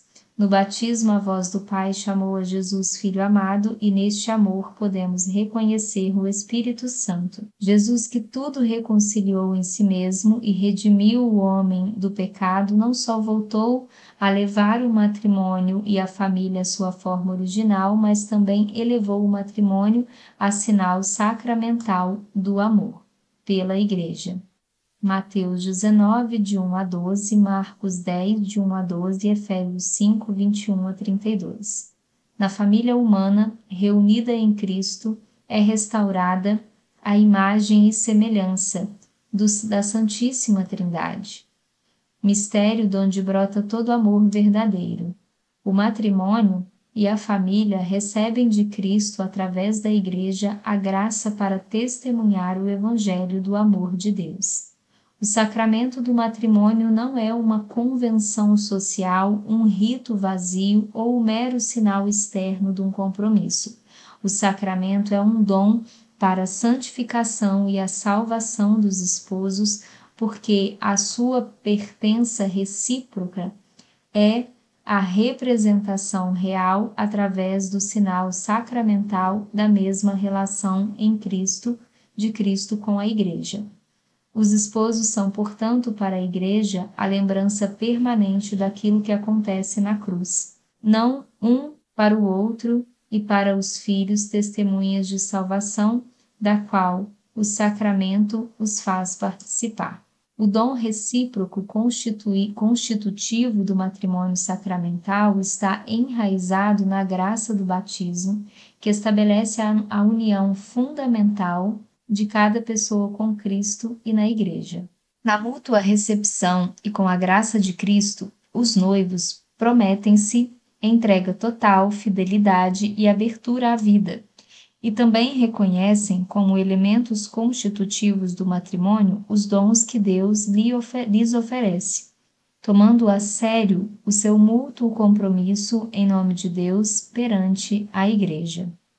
Ora, na fé, é possível assumir os bens do matrimônio como compromissos que se podem cumprir melhor com a ajuda da graça do sacramento. Portanto, o olhar da Igreja volta-se para os esposos como o coração da família inteira, que por sua vez levanta o seu olhar para Jesus. O sacramento não é uma coisa, nem uma força, mas o próprio Cristo, na realidade, vem ao encontro dos esposos, dos esposos cristãos com o sacramento do matrimônio, fica com eles, dá-lhes a coragem de o seguirem, tomando sobre si a sua cruz, de se levantarem depois das quedas e se perdoarem mutuamente ao levarem o fardo um do outro. O matrimônio cristão é um sinal que não só indica quanto Cristo amou a sua igreja na aliança selada na cruz, mas torna presente esse amor na comunhão dos esposos. Quando se unem numa só carne, representam o desposório do Filho de Deus com a natureza humana. Por isso, nas alegrias do seu amor e da sua vida familiar, ele dá-lhes, já neste mundo, um antigozo do festim das núpcias do Cordeiro. Embora a analogia entre o casal, marido e esposa e Cristo Igreja seja uma analogia imperfeita, convida a invocar o Senhor para que derrame o seu amor nas limitações das relações conjugais. Vivida de modo humano e santificada pelo sacramento, a união sexual é, por sua vez, caminho de crescimento na vida da graça para os esposos. É o mistério nupcial. O valor da união dos corpos está expresso nas palavras do consentimento, pelas quais se acolheram e doaram reciprocamente para partilhar a vida toda. Estas palavras conferem um significado à sexualidade, libertando-a de qualquer ambiguidade. Mas na realidade, toda a vida em comum dos esposos, toda a rede de relações que hão de tecer entre si, com os seus filhos, com o mundo, estará impregnada e robustecida pela graça do sacramento que brota do mistério da encarnação e da Páscoa, onde Deus exprimiu todo o seu amor pela humanidade e se uniu intimamente com ela. Os esposos nunca estarão sós, com as suas próprias forças, a enfrentar os desafios que surgem. São chamados a responder o dom de Deus com o seu esforço, a sua criatividade, a sua perseverança e a sua luta diária mas sempre poderão invocar o Espírito Santo que consagrou a sua união para que a graça recebida se manifeste sem cessar em cada nova situação. No sacramento do matrimônio, segundo a tradição latina da Igreja, os ministros são o homem e a mulher que se casam, os quais, ao manifestar o seu consentimento e expressá-lo na sua entrega corpórea, recebem um grande dom. O seu consentimento e a união dos seus corpos são os instrumentos da ação divina que os torna uma só carne. No batismo ficou consagrada a sua capacidade de se unir em matrimônio como ministros do Senhor para responder à vocação de Deus. Por isso, quando dois cônjuges não cristãos recebem o batismo, não é necessário renovar a promessa nupcial, sendo suficiente que não a rejeitem, pois pelo batismo que receberam, essa união torna-se automaticamente sacramental. O próprio direito canônico reconhece a validade de alguns matrimônios que se celebram sem um ministro ordenado, é que a ordem natural foi assumida pela redenção de Jesus Cristo, pelo que, entre batizados, não pode haver contrato matrimonial válido que não seja pelo mesmo fato sacramento. A Igreja pode exigir que o ato seja público, a presença de testemunhas e outras condições que foram variando ao longo da história, mas isso não tira aos dois esposos o seu caráter de ministros no sacramento, nem diminui a centralidade do consentimento do homem e da mulher, que é aquilo que de por si estabelece o vínculo sacramental. Em todo o caso, precisamos de refletir mais sobre a ação divina no rito nupcial, que aparece muito evidenciada nas igrejas orientais ao ressaltarem a importância da bênção sobre os contraentes como sinal do dom do Espírito, sementes do Verbo e situações imperfeitas. O evangelho da família nutre também as sementes ainda à espera de desenvolver-se e deve cuidar das árvores que perderam vitalidade e necessitam que não as transcurem, de modo que, partindo do dom de Cristo no sacramento, sejam conduzidas pacientemente mais além, chegando a um conhecimento mais rico e uma integração mais plena deste mistério na sua vida. Assumindo o ensinamento bíblico de que tudo foi criado por Cristo e para Cristo, os padres sinodais lembraram que a ordem da redenção ilumina e realiza a da criação. Assim, o matrimônio natural compreende-se plenamente à luz da sua realização sacramental. Só fixando o olhar em Cristo é que se conhece cabalmente a verdade das relações humanas. Na realidade, o mistério do homem só no mistério do Verbo encarnado se esclarece verdadeiramente. Cristo, novo Adão, na própria revelação do mistério do Pai e do seu amor, revela o homem a si mesmo e descobre-lhe a sua vocação sublime. Em particular, é oportuno compreender em chave cristocêntrica o bem dos cônjuges, que inclui a unidade, a abertura à vida, a fidelidade, a indissolubilidade e no matrimônio cristão também a ajuda mútua no caminho que leva a uma amizade mais plena com o Senhor. O discernimento da presença das semina verbe das outras culturas pode se aplicar também à realidade matrimonial e familiar. Para além do verdadeiro matrimônio natural, há elementos positivos também nas formas matrimoniais doutras tradições religiosas, embora não faltem também as sombras. Podemos dizer que toda pessoa que deseja formar neste mundo uma família que ensine os filhos a alegrar-se por cada ação que se propõe a vencer o mal, uma família que mostre que o espírito está vivo e operante, encontrará gratidão e estima, independente do povo, região ou religião a que pertença.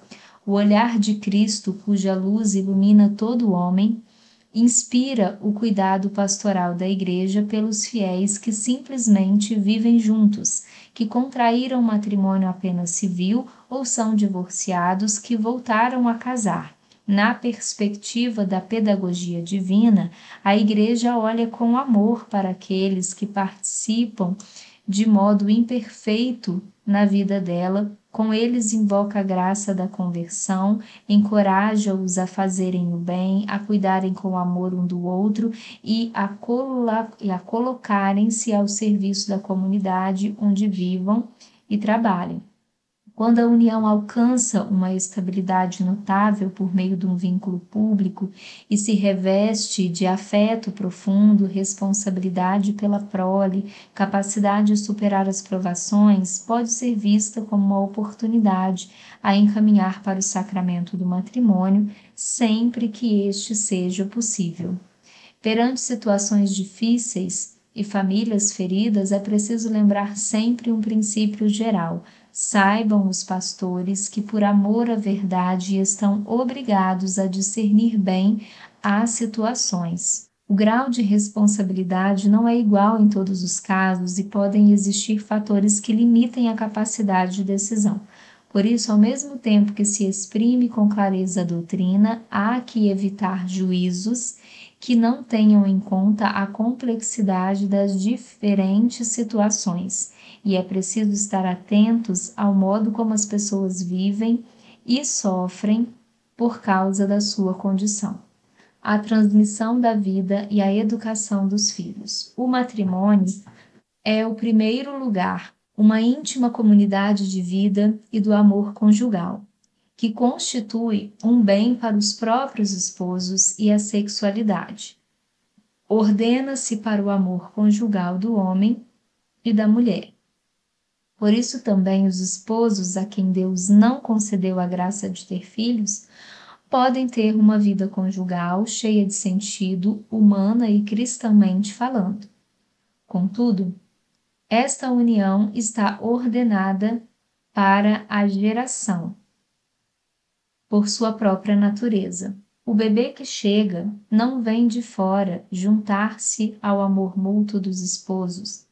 Surge no próprio coração deste dom mútuo, do qual é fruto complemento. Não aparece como o final de um processo, mas está presente desde o início do amor como uma característica essencial que não pode ser negada nem, sem mutilar o próprio amor.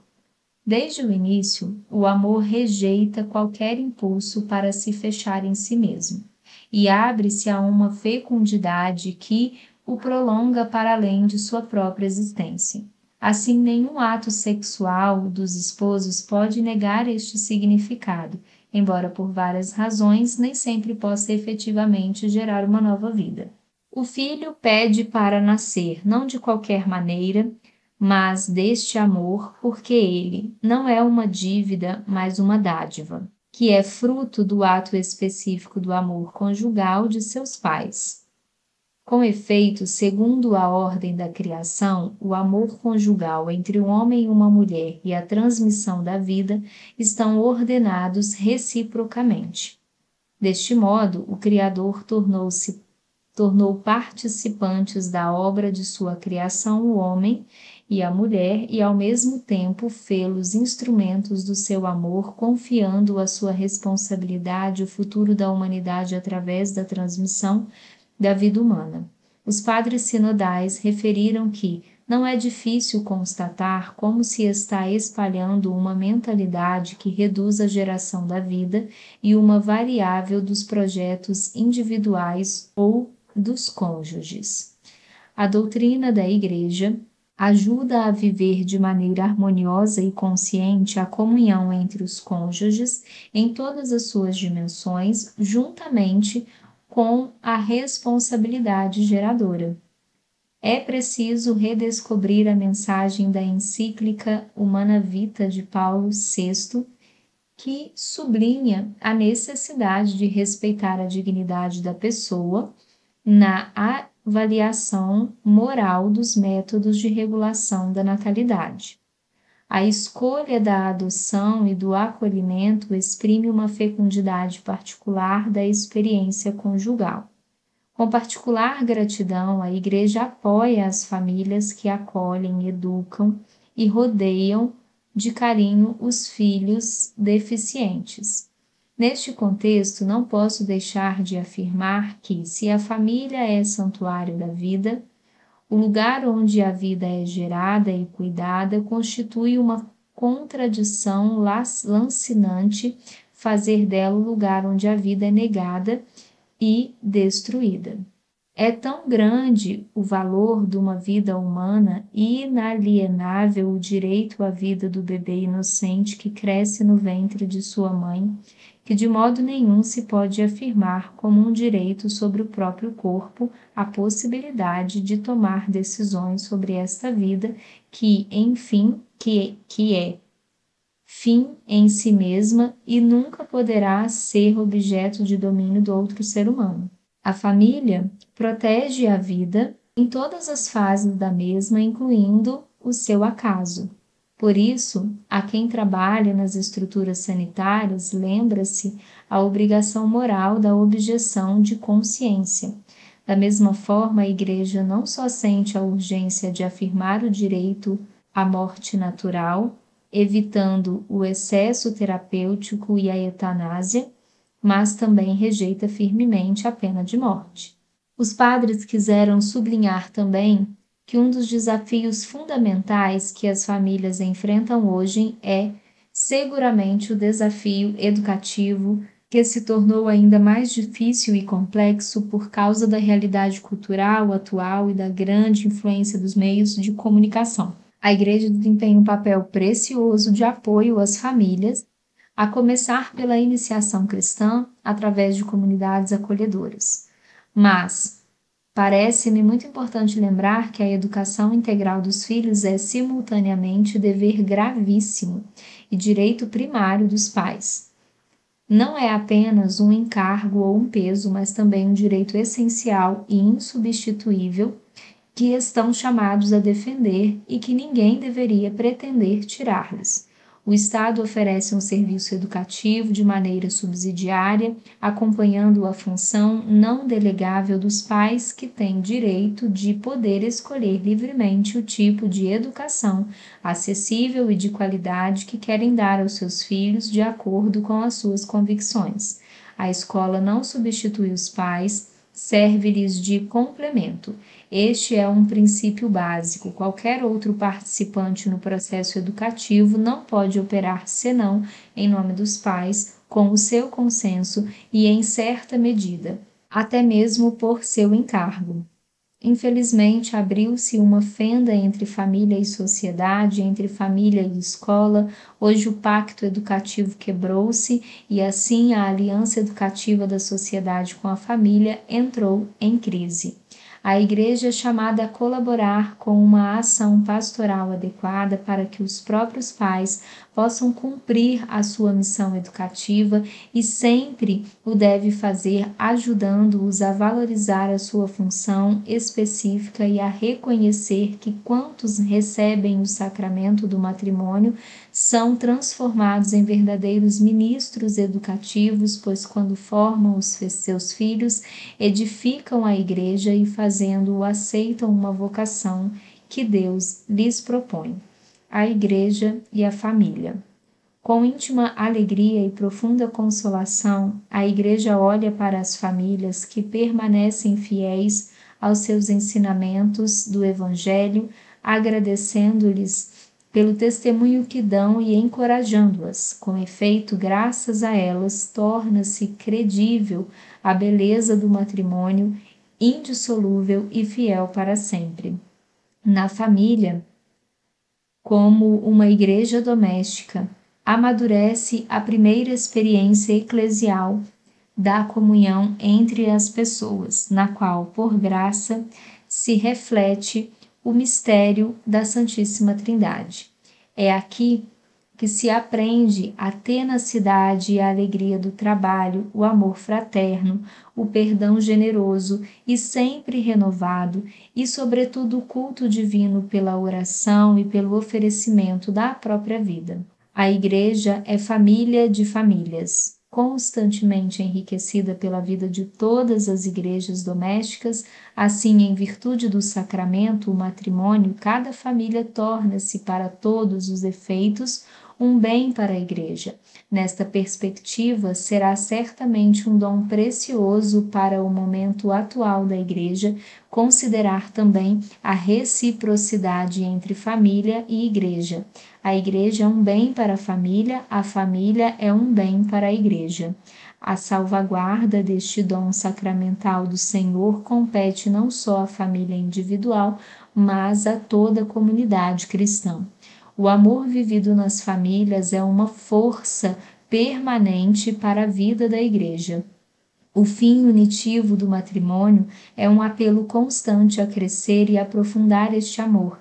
Na sua união de amor, os esposos experimentam a beleza da paternidade e da maternidade, partilham projetos e fadigas, anseios e preocupações, aprender a cuidar um do outro e a se perdoar mutuamente.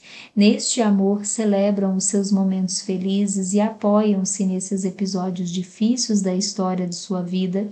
A beleza do dom recíproco e gratuito, a alegria pela vida que nasce e a amorosa solicitude de todos os seus membros, desde os pequeninos aos idosos, são apenas alguns dos frutos que tornam única e insubstituível a resposta à vocação da família, tanto para a igreja como para a sociedade inteira. Capítulo 4 O amor no matrimônio.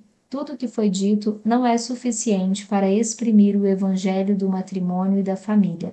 Se não nos detivermos particularmente a falar do amor, com efeito não poderemos encorajar um caminho de fidelidade e doação recíproca se não estimularmos o crescimento, a consolidação e o aprofundamento do amor conjugal e familiar.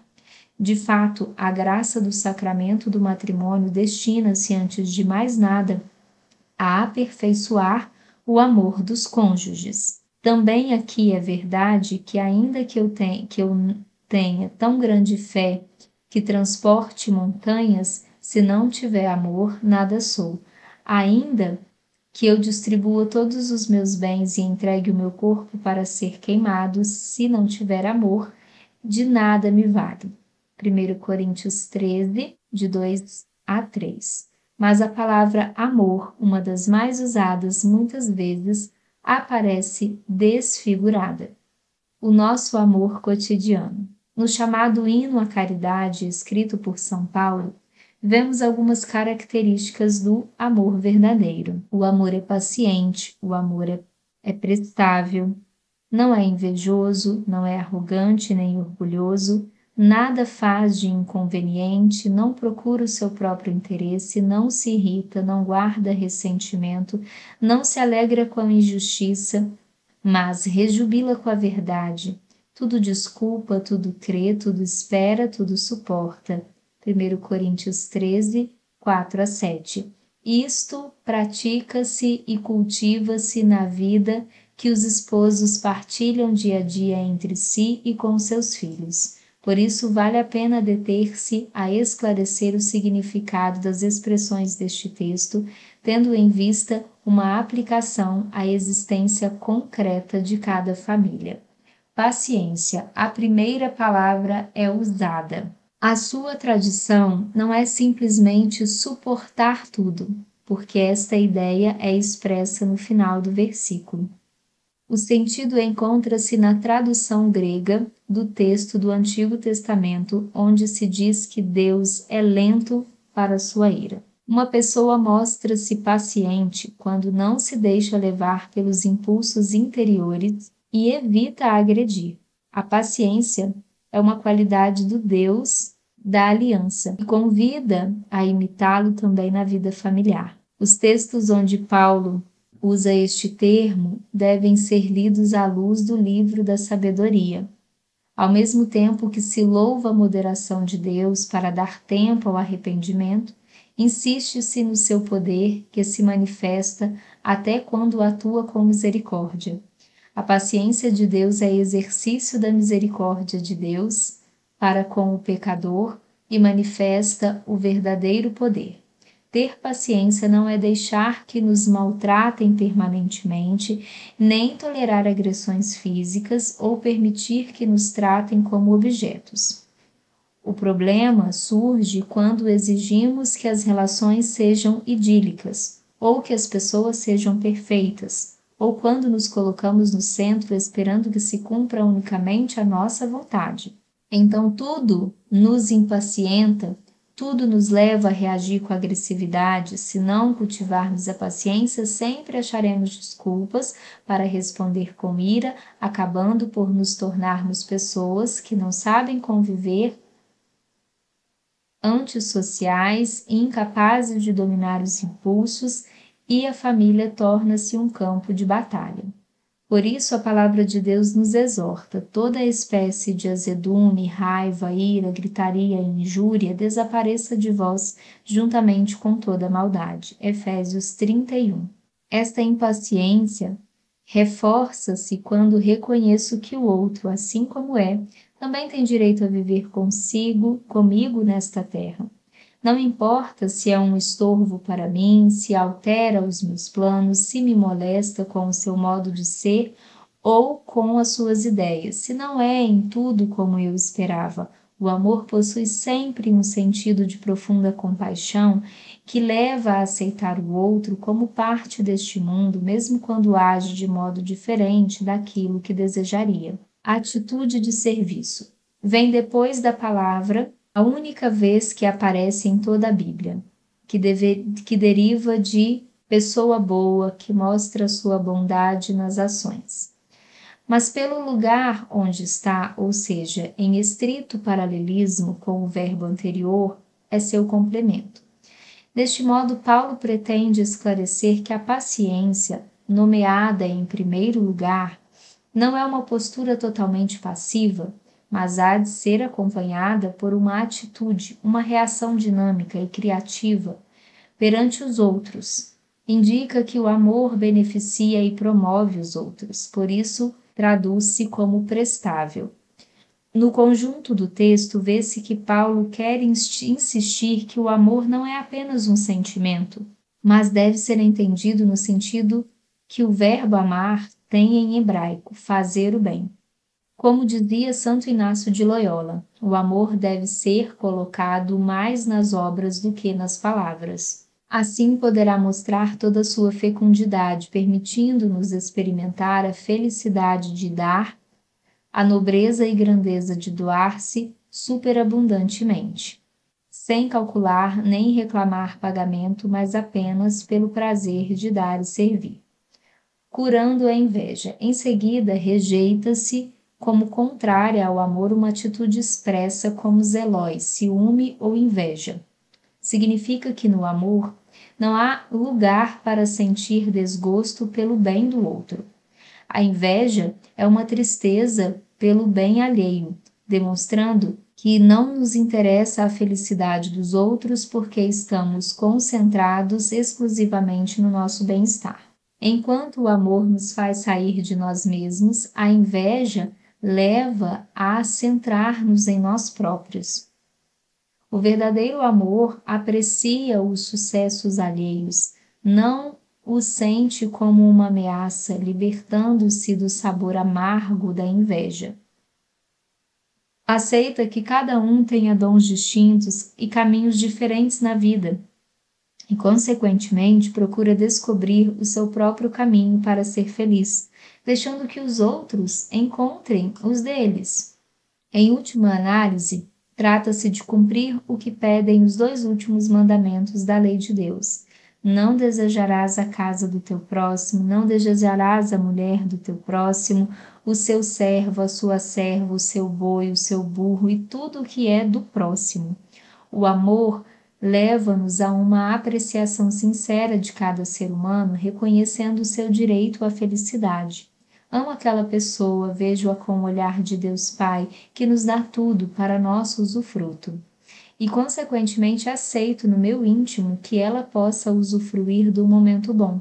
Entretanto, esta mesma raiz do amor leva-me a rejeitar a injustiça de alguns terem muito e outros não terem nada, ou induz-me a procurar que os outros que os próprios descartáveis da sociedade possam viver um pouco de alegria. Mas isso não é inveja, são anseios de equidade, sem ser arrogante nem, nem se orgulhar. Segue-se o termo perpetuitai, que indica vanglória, desejo de se mostrar superior para impressionar os outros com atitude pedante e um pouco agressiva. Quem ama não só evita falar de si mesmo, mas, mas, mas porque está centrado nos outros, sabe manter-se no seu lugar sem pretender estar no centro. A palavra seguinte, psi soltai, é muito semelhante, indicando que o amor não é arrogante. Literalmente afirma que não se engrandece diante dos outros, mas indica algo de mais sutil não se trata apenas de uma obsessão por mostrar as próprias qualidades, é pior, perde-se o sentido da realidade. A pessoa considera-se maior do que é porque se crê mais espiritual ou mais sábia. Paulo usa este verbo noutras ocasiões para dizer, por exemplo, que a ciência incha, ao passo que a caridade edifica. Por outras palavras, alguns julgam-se grandes porque sabem mais do que os outros, dedicando-se a impor-lhes exigências e a controlá-los, quando na realidade o que nos faz grandes é o amor que compreende, cuida, integra, está atento aos fracos.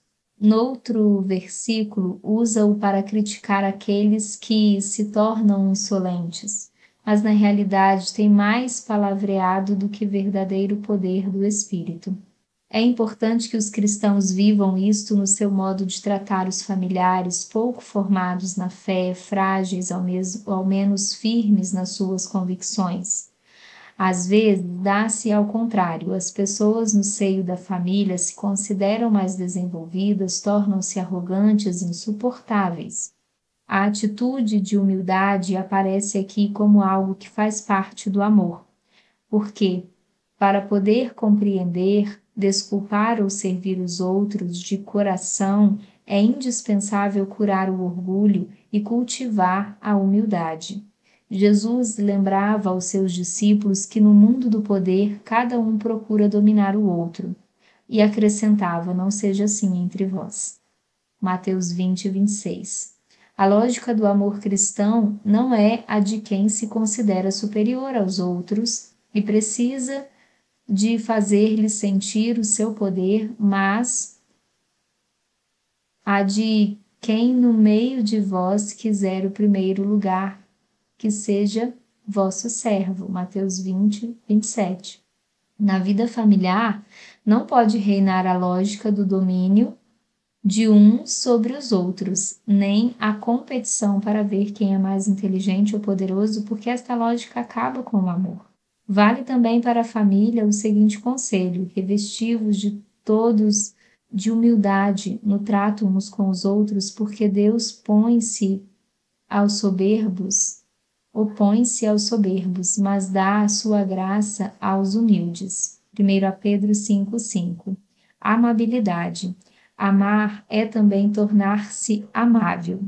E nisto está o sentido do termo agiesmonei. Significa que o amor não age rudemente, não atua de forma inconveniente, não se mostra duro no trato. Os seus modos, as suas palavras, os seus gestos são agradáveis, não são ásperos nem rígidos. Detesta fazer sofrer os outros, a cortesia é uma, é uma escola de sensibilidade e altruísmo, que exige que a pessoa cultive a sua mente e os seus sentidos, aprenda a ouvir, a falar em certos momentos e a calar. Ser amável não é um estilo que o cristão possa escolher ou rejeitar, faz parte das exigências irrenunciáveis do amor. Por isso, todo ser humano está obrigado a ser amável com aqueles que rodeiam. Diariamente, entrar na vida do outro, mesmo quando faz parte da nossa existência, exige delicadeza, de uma atitude não invasiva que renova e confia o respeito. E quanto mais íntimo e profundo for o amor, tanto mais exigirá o respeito pela liberdade e a capacidade de esperar que o outro abra a porta do seu coração a fim de se predispor para um verdadeiro encontro com o outro. Requer-se um olhar amável pousado nele. Isso não é possível quando reina um pessimismo que põe em evidência os defeitos e erros alheios, talvez para compensar os próprios complexos. Um olhar amável faz com que nos detenhamos menos nos limites do outro, podendo assim tolerá-lo e unirmos-nos num projeto comum apesarmos, apesar de ser diferentes. O amor amável gera vínculos, cultiva laços, cria novas redes de integração, constrói um tecido social firme.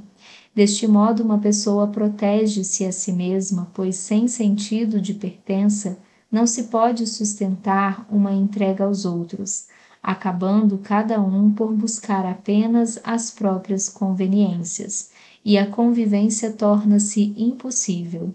Uma pessoa antissocial julga que os outros existem para satisfazer as suas necessidades e, quando fazem, cumprem apenas o seu dever. Neste caso, não haveria espaço para a amabilidade do amor e a sua linguagem. A pessoa que ama é capaz de dizer palavras de incentivo que reconfortam, que fortalecem, consolam e estimulam. Vejamos, por exemplo, algumas palavras que Jesus dizia às pessoas: Filho, tem confiança, grande é a tua fé.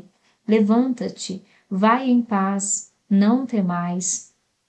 Não são palavras que humilham, angustiam, irritam, desprezam na família é preciso aprender esta linguagem amável de Jesus. Desprendimento. Como se diz muitas vezes, para amar os outros é preciso primeiro amar a si mesmo. Todavia, este hino à caridade afirma que o amor não procura o seu próprio interesse, ou não procura o que é seu. Esta expressão aparece ainda noutro, noutro texto. Não tenha cada um em vista os próprios interesses, mas todos e cada um exatamente os interesses dos outros. Filipenses 2:4. Perante uma afirmação assim clara da Sagrada Escritura, deve-se evitar de dar prioridade ao amor a si mesmo, como se fosse mais nobre do que o dom de si aos outros. Uma certa prioridade do amor a si mesmo só pode entender como condição psicológica, pois uma pessoa que seja incapaz de amar a si mesma sente dificuldade em amar os outros. Para quem será bom aquele que é mal para si mesmo? Não há pior do que aquele que é avaro para si mesmo. Mas o próprio Tomás de Aquino explicou: ser mais próprio da caridade, querer amar do que querer ser amado. E que, de fato, as mães que são as que mais amam procuram mais amar do que ser amadas. Por isso, o amor pode superar a justiça e transbordar gratuitamente, sem nada esperar em troca. Lucas 6, 35 até chegar ao amor maior que é dar a vida pelos outros. João 15, 13. Mas será possível um desprendimento assim que permite dar gratuit gratuitamente e dar até o fim? Sem dúvida, porque é o que pede o Evangelho: recebestes de graça, dai de graça. Se a primeira expressão do hino nos convida à paciência, que Evita reagir brusca, bruscamente perante as fraquezas ou erro dos outros. Agora aparece outra palavra que diz respeito a uma reação interior de indignação provocada por algo exterior. Trata-se de uma violência interna, uma irritação recôndita que nos põe à defesa perante os outros, como se fossem inimigos molestos a evitar. Alimentar esta agressividade íntima de nada aproveita.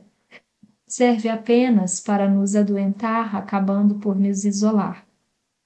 A indignação é saudável quando nos leva a reagir perante uma grave injustiça, mas é prejudicial quando tende a impregnar todas as nossas atitudes para com os outros. O Evangelho convida a olhar primeiro a trave na própria vista, e nós, cristãos, não podemos ignorar o convite constante da palavra de Deus para não se alimentar a ira, não te deixes vencer pelo mal, não nos cansemos de fazer o bem.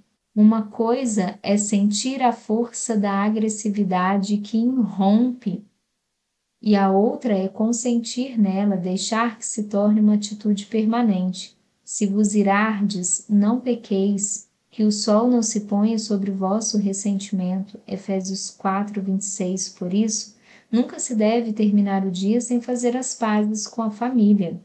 E como devo fazer as pazes? Ajoelhar-me? Não. Para restabelecer a harmonia familiar, basta um pequeno gesto, uma coisa de nada. É suficiente uma carícia sem palavras mas nunca permitais que um dia em família termine sem fazer as pazes. A reação interior perante uma moléstia nos causam os outros deveria ser antes de mais nada abençoar o coração, desejar o bem do outro, pedir a Deus que liberte e cure. Respondei com palavras de bênção, pois a isto foste chamado, a herdar a bênção. Se tivermos de lutar contra o mal, façamo-lo, mas sempre digamos não à violência interior. Perdão. Se permitirmos a entrada do mau sentimento no nosso íntimo, damos lugar ao ressentimento que se aninha no coração. A frase Logitai tokakon significa que se tem em conta o mal, trala-o gravado, ou seja, está ressentido. O contrário disto é perdão. Perdão fundado numa atitude positiva que procura compreender a fraqueza alheia e encontrar desculpas para outra pessoa, como Jesus diz: Perdoa-lhes, Pai, porque não sabem o que fazem. Lucas 23, 34.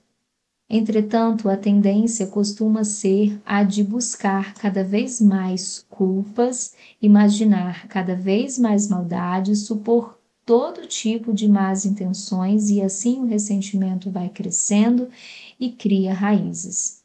Deste modo, qualquer erro ou queda do cônjuge pode danificar o vínculo de amor e a estabilidade familiar. O problema é que às vezes atribui-se a tudo a mesma gravidade, com o risco de tornar-se cruel perante qualquer erro do outro. A justa reivindicação dos propósitos direitos, dos próprios direitos, torna-se mais uma persistente e constante sede de vingança do que a ação defesa da própria dignidade. Quando estivermos ofendidos ou desiludidos, é possível e desejável o perdão mas ninguém diz que seja fácil. A verdade é que a comunhão familiar só pode ser conservada e aperfeiçoada com grande espírito de sacrifício. Exige de fato de todos e de cada um pronta e generosa disponibilidade à compreensão, à tolerância, ao perdão, à reconciliação. Nenhuma família ignora como o egoísmo, o des desacordo, as tensões, os conflitos agridem de forma violenta e às vezes mortal a comunhão, daqui as múltiplas e variadas formas de divisão da vida familiar. Hoje sabemos que, para se poder perdoar, precisamos de passar pela experiência libertadora de nos compreendermos e perdoarmos a nós mesmos. Quantas vezes os nossos erros ou o olhar crítico das pessoas que amamos nos fizeram perder o amor a nós próprios. Isto acaba por nos levar a acautelarmos dos outros, esquivando-nos do seu afeto, enchendo-nos de suspeitas nas relações interpessoais. Então, Poder culpar os outros torna-se um falso alívio. Faz falta rezar com a própria história, aceitar-se a si mesmo, saber conviver com as próprias limitações e, inclusive, perdoar-se, para poder ter esta mesma atitude com os outros, mas isto pressupõe a experiência de ser perdoados por Deus, justificados gratuitamente e não pelos nossos méritos. Fomos envolvidos por um amor prévio a qualquer obra nossa que sempre dá uma nova oportunidade, promove e incentiva. Se aceitamos que o amor de Deus é incondicional, que o carinho do Pai não se deve comprar nem pagar, então poderemos amar sem limites, perdoar os outros, ainda que tenham sido injustos para conosco. Caso contrário, a nossa vida em família deixará de ser um lugar de compreensão, companhia e incentivo e tornar-se-á um espaço de permanente tensão ou de castigo mútuo. Alegre-se, alegrar-se com os outros. A expressão jairei ebi te adikadia indica algo de negativo arraigado no segredo do coração da pessoa. É a atitude venenosa de quem, ao ver feita a alguém uma injustiça, se alegra. A frase é completada pela seguinte, que diz de forma positiva: rejubila com a verdade. Por outras palavras, alegra-se com o bem do outro quando se reconhece a sua dignidade, quando se apreciam as suas capacidades e as suas boas obras. Isso é impossível para quem sente a necessidade de estar sempre a comparar-se ou a competir, inclusive com o próprio cônjuge, até o ponto de se alegrar secretamente com os seus fracassos. O matrimônio é uma vocação, sendo uma resposta à chamada específica para viver o amor conjugal como sinal imperfeito do amor entre Cristo e a Igreja. Por isso, a decisão de se casar e formar uma família deve ser fruto de um discernimento vocacional. Quando uma pessoa que ama pode fazer algo de bom pelo outro, ou quando vê que a vida está a correr bem ao outro, vive isso com alegria e assim dá glória a Deus, porque Deus ama quem dá com alegria. Nosso Senhor aprecia de modo especial quem se alegra com a felicidade do outro. Se não alimentarmos a nossa capacidade de rejubilar com o bem do outro, concentrando-nos sobretudo nas nossas próprias necessidades, condenamos-nos a viver com pouca alegria, porque, como disse Jesus, a felicidade está mais em dar do que em receber. A família deve ser sempre o lugar onde uma pessoa que consegue algo de bom na vida sabe que ali se vão congratular com ela. Tudo desculpa. O elenco é completado com quadro com quatro expressões que falam de uma totalidade, tudo. Tudo desculpa, tudo crê, tudo espera, tudo, tudo suporta. Assim se destaca vigorosamente o dinamismo contracorrente do amor, capaz de enfrentar qualquer coisa que possa ameaçar. Em primeiro lugar, disse que tudo desculpa. É diferente de não ter em conta o mal, porque este termo tem a ver com o uso da língua. Pode significar guardar silêncio, a propósito do mal que possa haver noutra pessoa. Implica limitar o juízo, conter a inclinação para se emitir uma condenação dura e implacável. Não condeneis e não sereis condenados. Embora isto vá contra o uso que habitualmente fazemos da língua, a palavra de Deus nos pede: não faleis mal uns dos outros, irmãos. Tiago 4:11. Deter-se a danificar a imagem do outro é uma maneira de reforçar a própria, de descarregar ressentimentos e invejas sem se importar com o dano causado. Muitas vezes esquece que a difamação pode ser um grande pecado, uma grave ofensa a Deus, quando afeta seriamente a boa fama dos outros, causando-lhes danos muito difíceis de se reparar. Por isso a palavra de Deus se mostra tão dura com a língua, dizendo que é um mundo de iniquidade, de que contamina todo o corpo, um mal incontrolável carregado de veneno mortal. Se com ela amaldiçoamos os homens feitos à semelhança de Deus, o amor faz o contrário, defendendo a imagem dos outros e com uma delicadeza tal que leva mesmo a preservar a boa fama dos inimigos. Ao defender a lei divina, é preciso nunca esquecer tal exigência do amor. Os esposos que se amam e se pertencem falam bem um do outro, procuram mostrar mais o lado bom do cônjuge do que as suas fraquezas e erros. Em todo caso, guarda o silêncio para não danificar a sua imagem. Mas não é apenas um gesto externo, brota de uma atitude interior.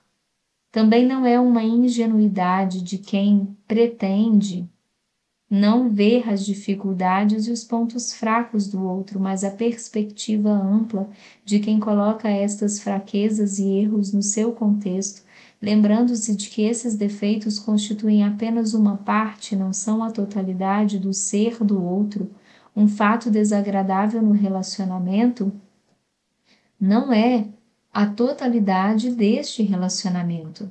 Assim, é possível aceitar com simplicidade que todos somos uma complexa combinação de luzes e sombras o outro não é apenas aquilo que nos incomoda, é muito mais do que isso, e pela mesma razão não lhe exige que seja perfeito o seu amor para o apreciar.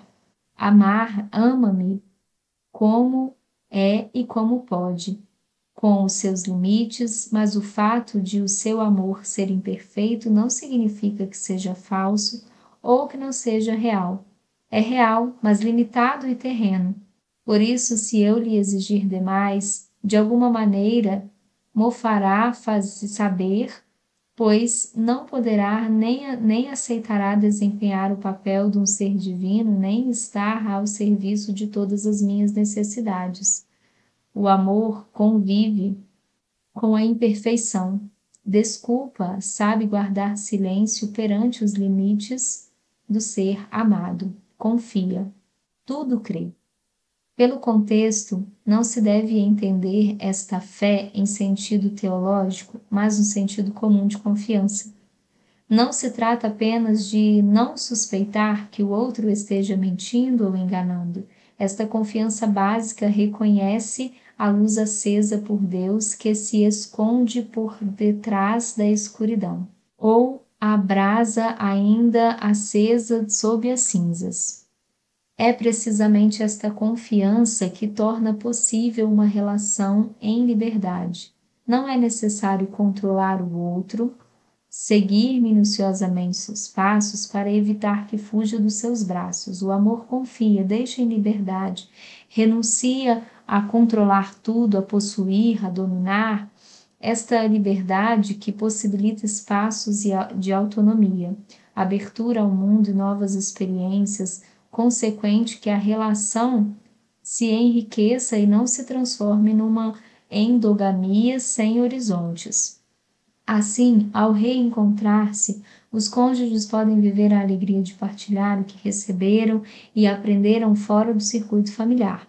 Ao mesmo tempo, torna possível a sinceridade e a transparência, porque uma pessoa, quando sabe que os outros confiam nela e apreciam a bondade basilar do seu ser, mostra-se como é, sem dissimulações. Pelo contrário, quando alguém sabe que sempre suspeitam dele, julgam-no sem compreensão e não o amam incondicionalmente, preferirá guardar os seus segredos, esconder as suas quedas e fraquezas, fingir o que não é, concluindo uma família onde reina uma confiança sólida, carinhosa e suceda o que suceder sempre se volta a confiar, permite o florescimento da verdadeira identidade dos seus membros, fazendo com que se rejeite espontaneamente o engano, a falsidade e a mentira. Espera. Não desespera no futuro, do futuro. Ligado à palavra anterior, indica a esperança de quem sabe que o outro pode mudar, sempre espera que seja possível um amadurecimento, um inesperado surto de beleza que as potencialidades mais recônditas do seu ser germinem algum dia, não significa que nessa vida tudo vai mudar. Implica aceitar que nem tudo aconteça como se deseja, mas talvez Deus escreva direito por linhas tortas e saiba tirar algum bem dos males que vão se que não se conseguem vencer nesta terra. Aqui aparece a esperança no seu sentido pleno, porque inclui a certeza de uma vida para além da morte. Aquela pessoa com todas as suas fraquezas chamada plenitude do céu, lá completamente transformada pela ressurreição de Cristo, cessarão de, de existir as suas fraquezas, trevas e patologias, lá o verdadeiro ser daquela pessoa resplandecerá com toda a sua potência de bem e beleza. Isso nos permite, no meio das moléstias dessa terra, contemplar aquela pessoa com um olhar sobrenatural, à luz da esperança e aguardar aquela plenitude que, embora hoje não seja visível, há de receber um dia no reino celeste. Tudo suporta, significa que suporta com espírito positivo todas as contrariedades. É manter-se firme no meio de um ambiente hostil. Não consiste apenas em tolerar algumas coisas molestas, mas é algo de mais amplo, uma resistência dinâmica e constante capaz de superar qualquer desafio.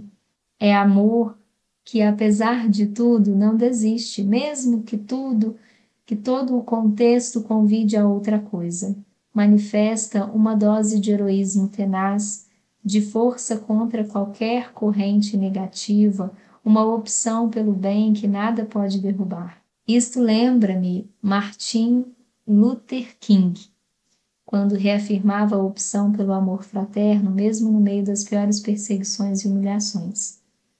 A pessoa que mais te odeia tem algo de bom nela. Mesmo a nação que mais odeia tem algo de bom nela. Mesmo a raça que mais odeia tem algo de bom nela. E quando chegas ao ponto de fixar o rosto de cada ser humano e, bem no fundo dele, vês o que a religião chama a imagem de Deus, começas, não obstante tudo, a amá-lo. Não importa o que faça, lá vês a imagem de Deus. Há um elemento de bondade de que nunca poderás livrar-te. Outra forma de amares o teu inimigo é esta: quando surge a oportunidade de derrotares o teu inimigo, aquele é o momento em que deves decidir não o fazer. Quando te elevas ao nível do amor, da sua grande beleza e poder, a única coisa que procuras derrotar são os sistemas malignos. As pessoas que caíram na armadilha deste sistema, tu ama-las, mas procuras derrotar o sistema. Ódio por ódio só intensifica a existência do ódio e do mal no universo. Se eu te bato e tu me bates, e eu te devolvo a pancada e tu me devolves a pancada, e assim por diante, obviamente, continua-se até ao infinito, simplesmente nunca termina. Em algum ponto, alguém deve ter um pouco de bom senso, e esta é a pessoa forte. A pessoa forte é aquela que pode quebrar a a cadeia do ódio, a cadeia do mal, alguém deve ter bastante fé e moralidade para a quebrar e injetar dentro da própria estrutura do universo o elemento forte e poderoso do amor.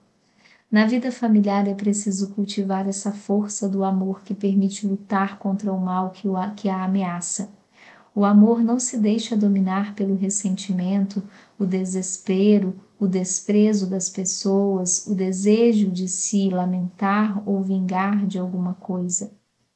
O, o, o ideal cristão, nomeadamente na família, é o amor que, apesar de tudo, não desiste. Deixa-me maravilhado, por exemplo, a atitude das pessoas que, para se proteger da violência física, tiveram de separar-se do seu cônjuge e, todavia, pela caridade conjugal que sabe ultrapassar os sentimentos, foram capazes de procurar o seu bem, mesmo através de terceiros em momentos de doença, tribulação ou dificuldade. Isso também é o amor que, apesar de tudo, não desiste. Crescer na caridade conjugal. O Cântico de São Paulo, que acabamos de repassar, permite-nos avançar para a caridade conjugal. Esta é o amor que une os esposos, amor santificado, enriquecido e iluminado pela graça do sacramento do matrimônio. É uma união afetiva, espiritual e oblativa, mas que reúne em si a ternura da amizade e a paixão erótica, embora seja capaz de substituir mesmo quando os sentimentos e paixões enfraquecem. O Papa Pio XI ensinava que este amor permeia todos os deveres da vida conjugal e detém como que o primado da nobreza. Com efeito, este amor forte derramado pelo Espírito Santo é reflexo da aliança indestrutível entre Cristo e a humanidade, que culminou na entrega até o fim na cruz, o Espírito que o Senhor infunde dá um coração novo e torna o homem e a mulher capazes de se amarem como Cristo nos amou. O amor conjugal atinge assim aquela plenitude para a qual está interiormente ordenado, a caridade conjugal. O matrimônio é um sinal precioso, porque quando um homem e uma mulher celebram o sacramento do matrimônio, Deus, por assim dizer, espelha-se neles, imprime neles as suas características e o caráter indelével do seu amor. O matrimônio é o ícone do amor de Deus por nós. Com efeito, também, Deus é comunhão, as três pessoas, Pai, Filho e Espírito Santo, vivem des, desde sempre e para sempre em unidade perfeita. É precisamente nisto que consiste o mistério do matrimônio dos dois esposos, Deus faz uma só existência. Isto tem consequências muito concretas na vida do dia a dia, porque, em virtude do sacramento, os esposos são investidos numa autêntica missão para que possam tornar visível, a partir das realidades simples e ordinárias, o amor com que Cristo ama a sua igreja, continuando a dar a vida por ela. Todavia, convém não confundir planos diferentes. Não se deve atirar para cima de duas pessoas limitadas o peso tremendo de ter que reproduzir perfeitamente a união que existe entre Cristo e a Igreja, porque o matrimônio, como sinal, implica um processo dinâmico que avança gradualmente com a progressiva integração dos dons de Deus. A vida toda, tudo em comum.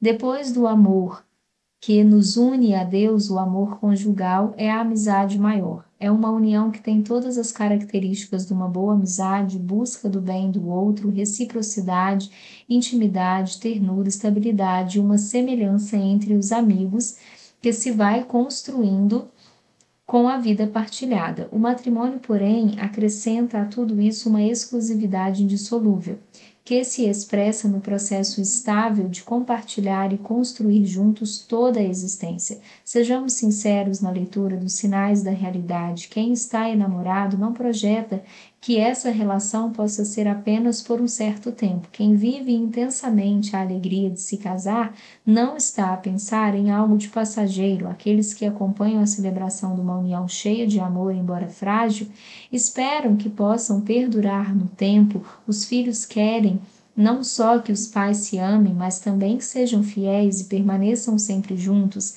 Estes e outros sinais mostram que na própria natureza do amor conjugal existe a abertura ao definitivo.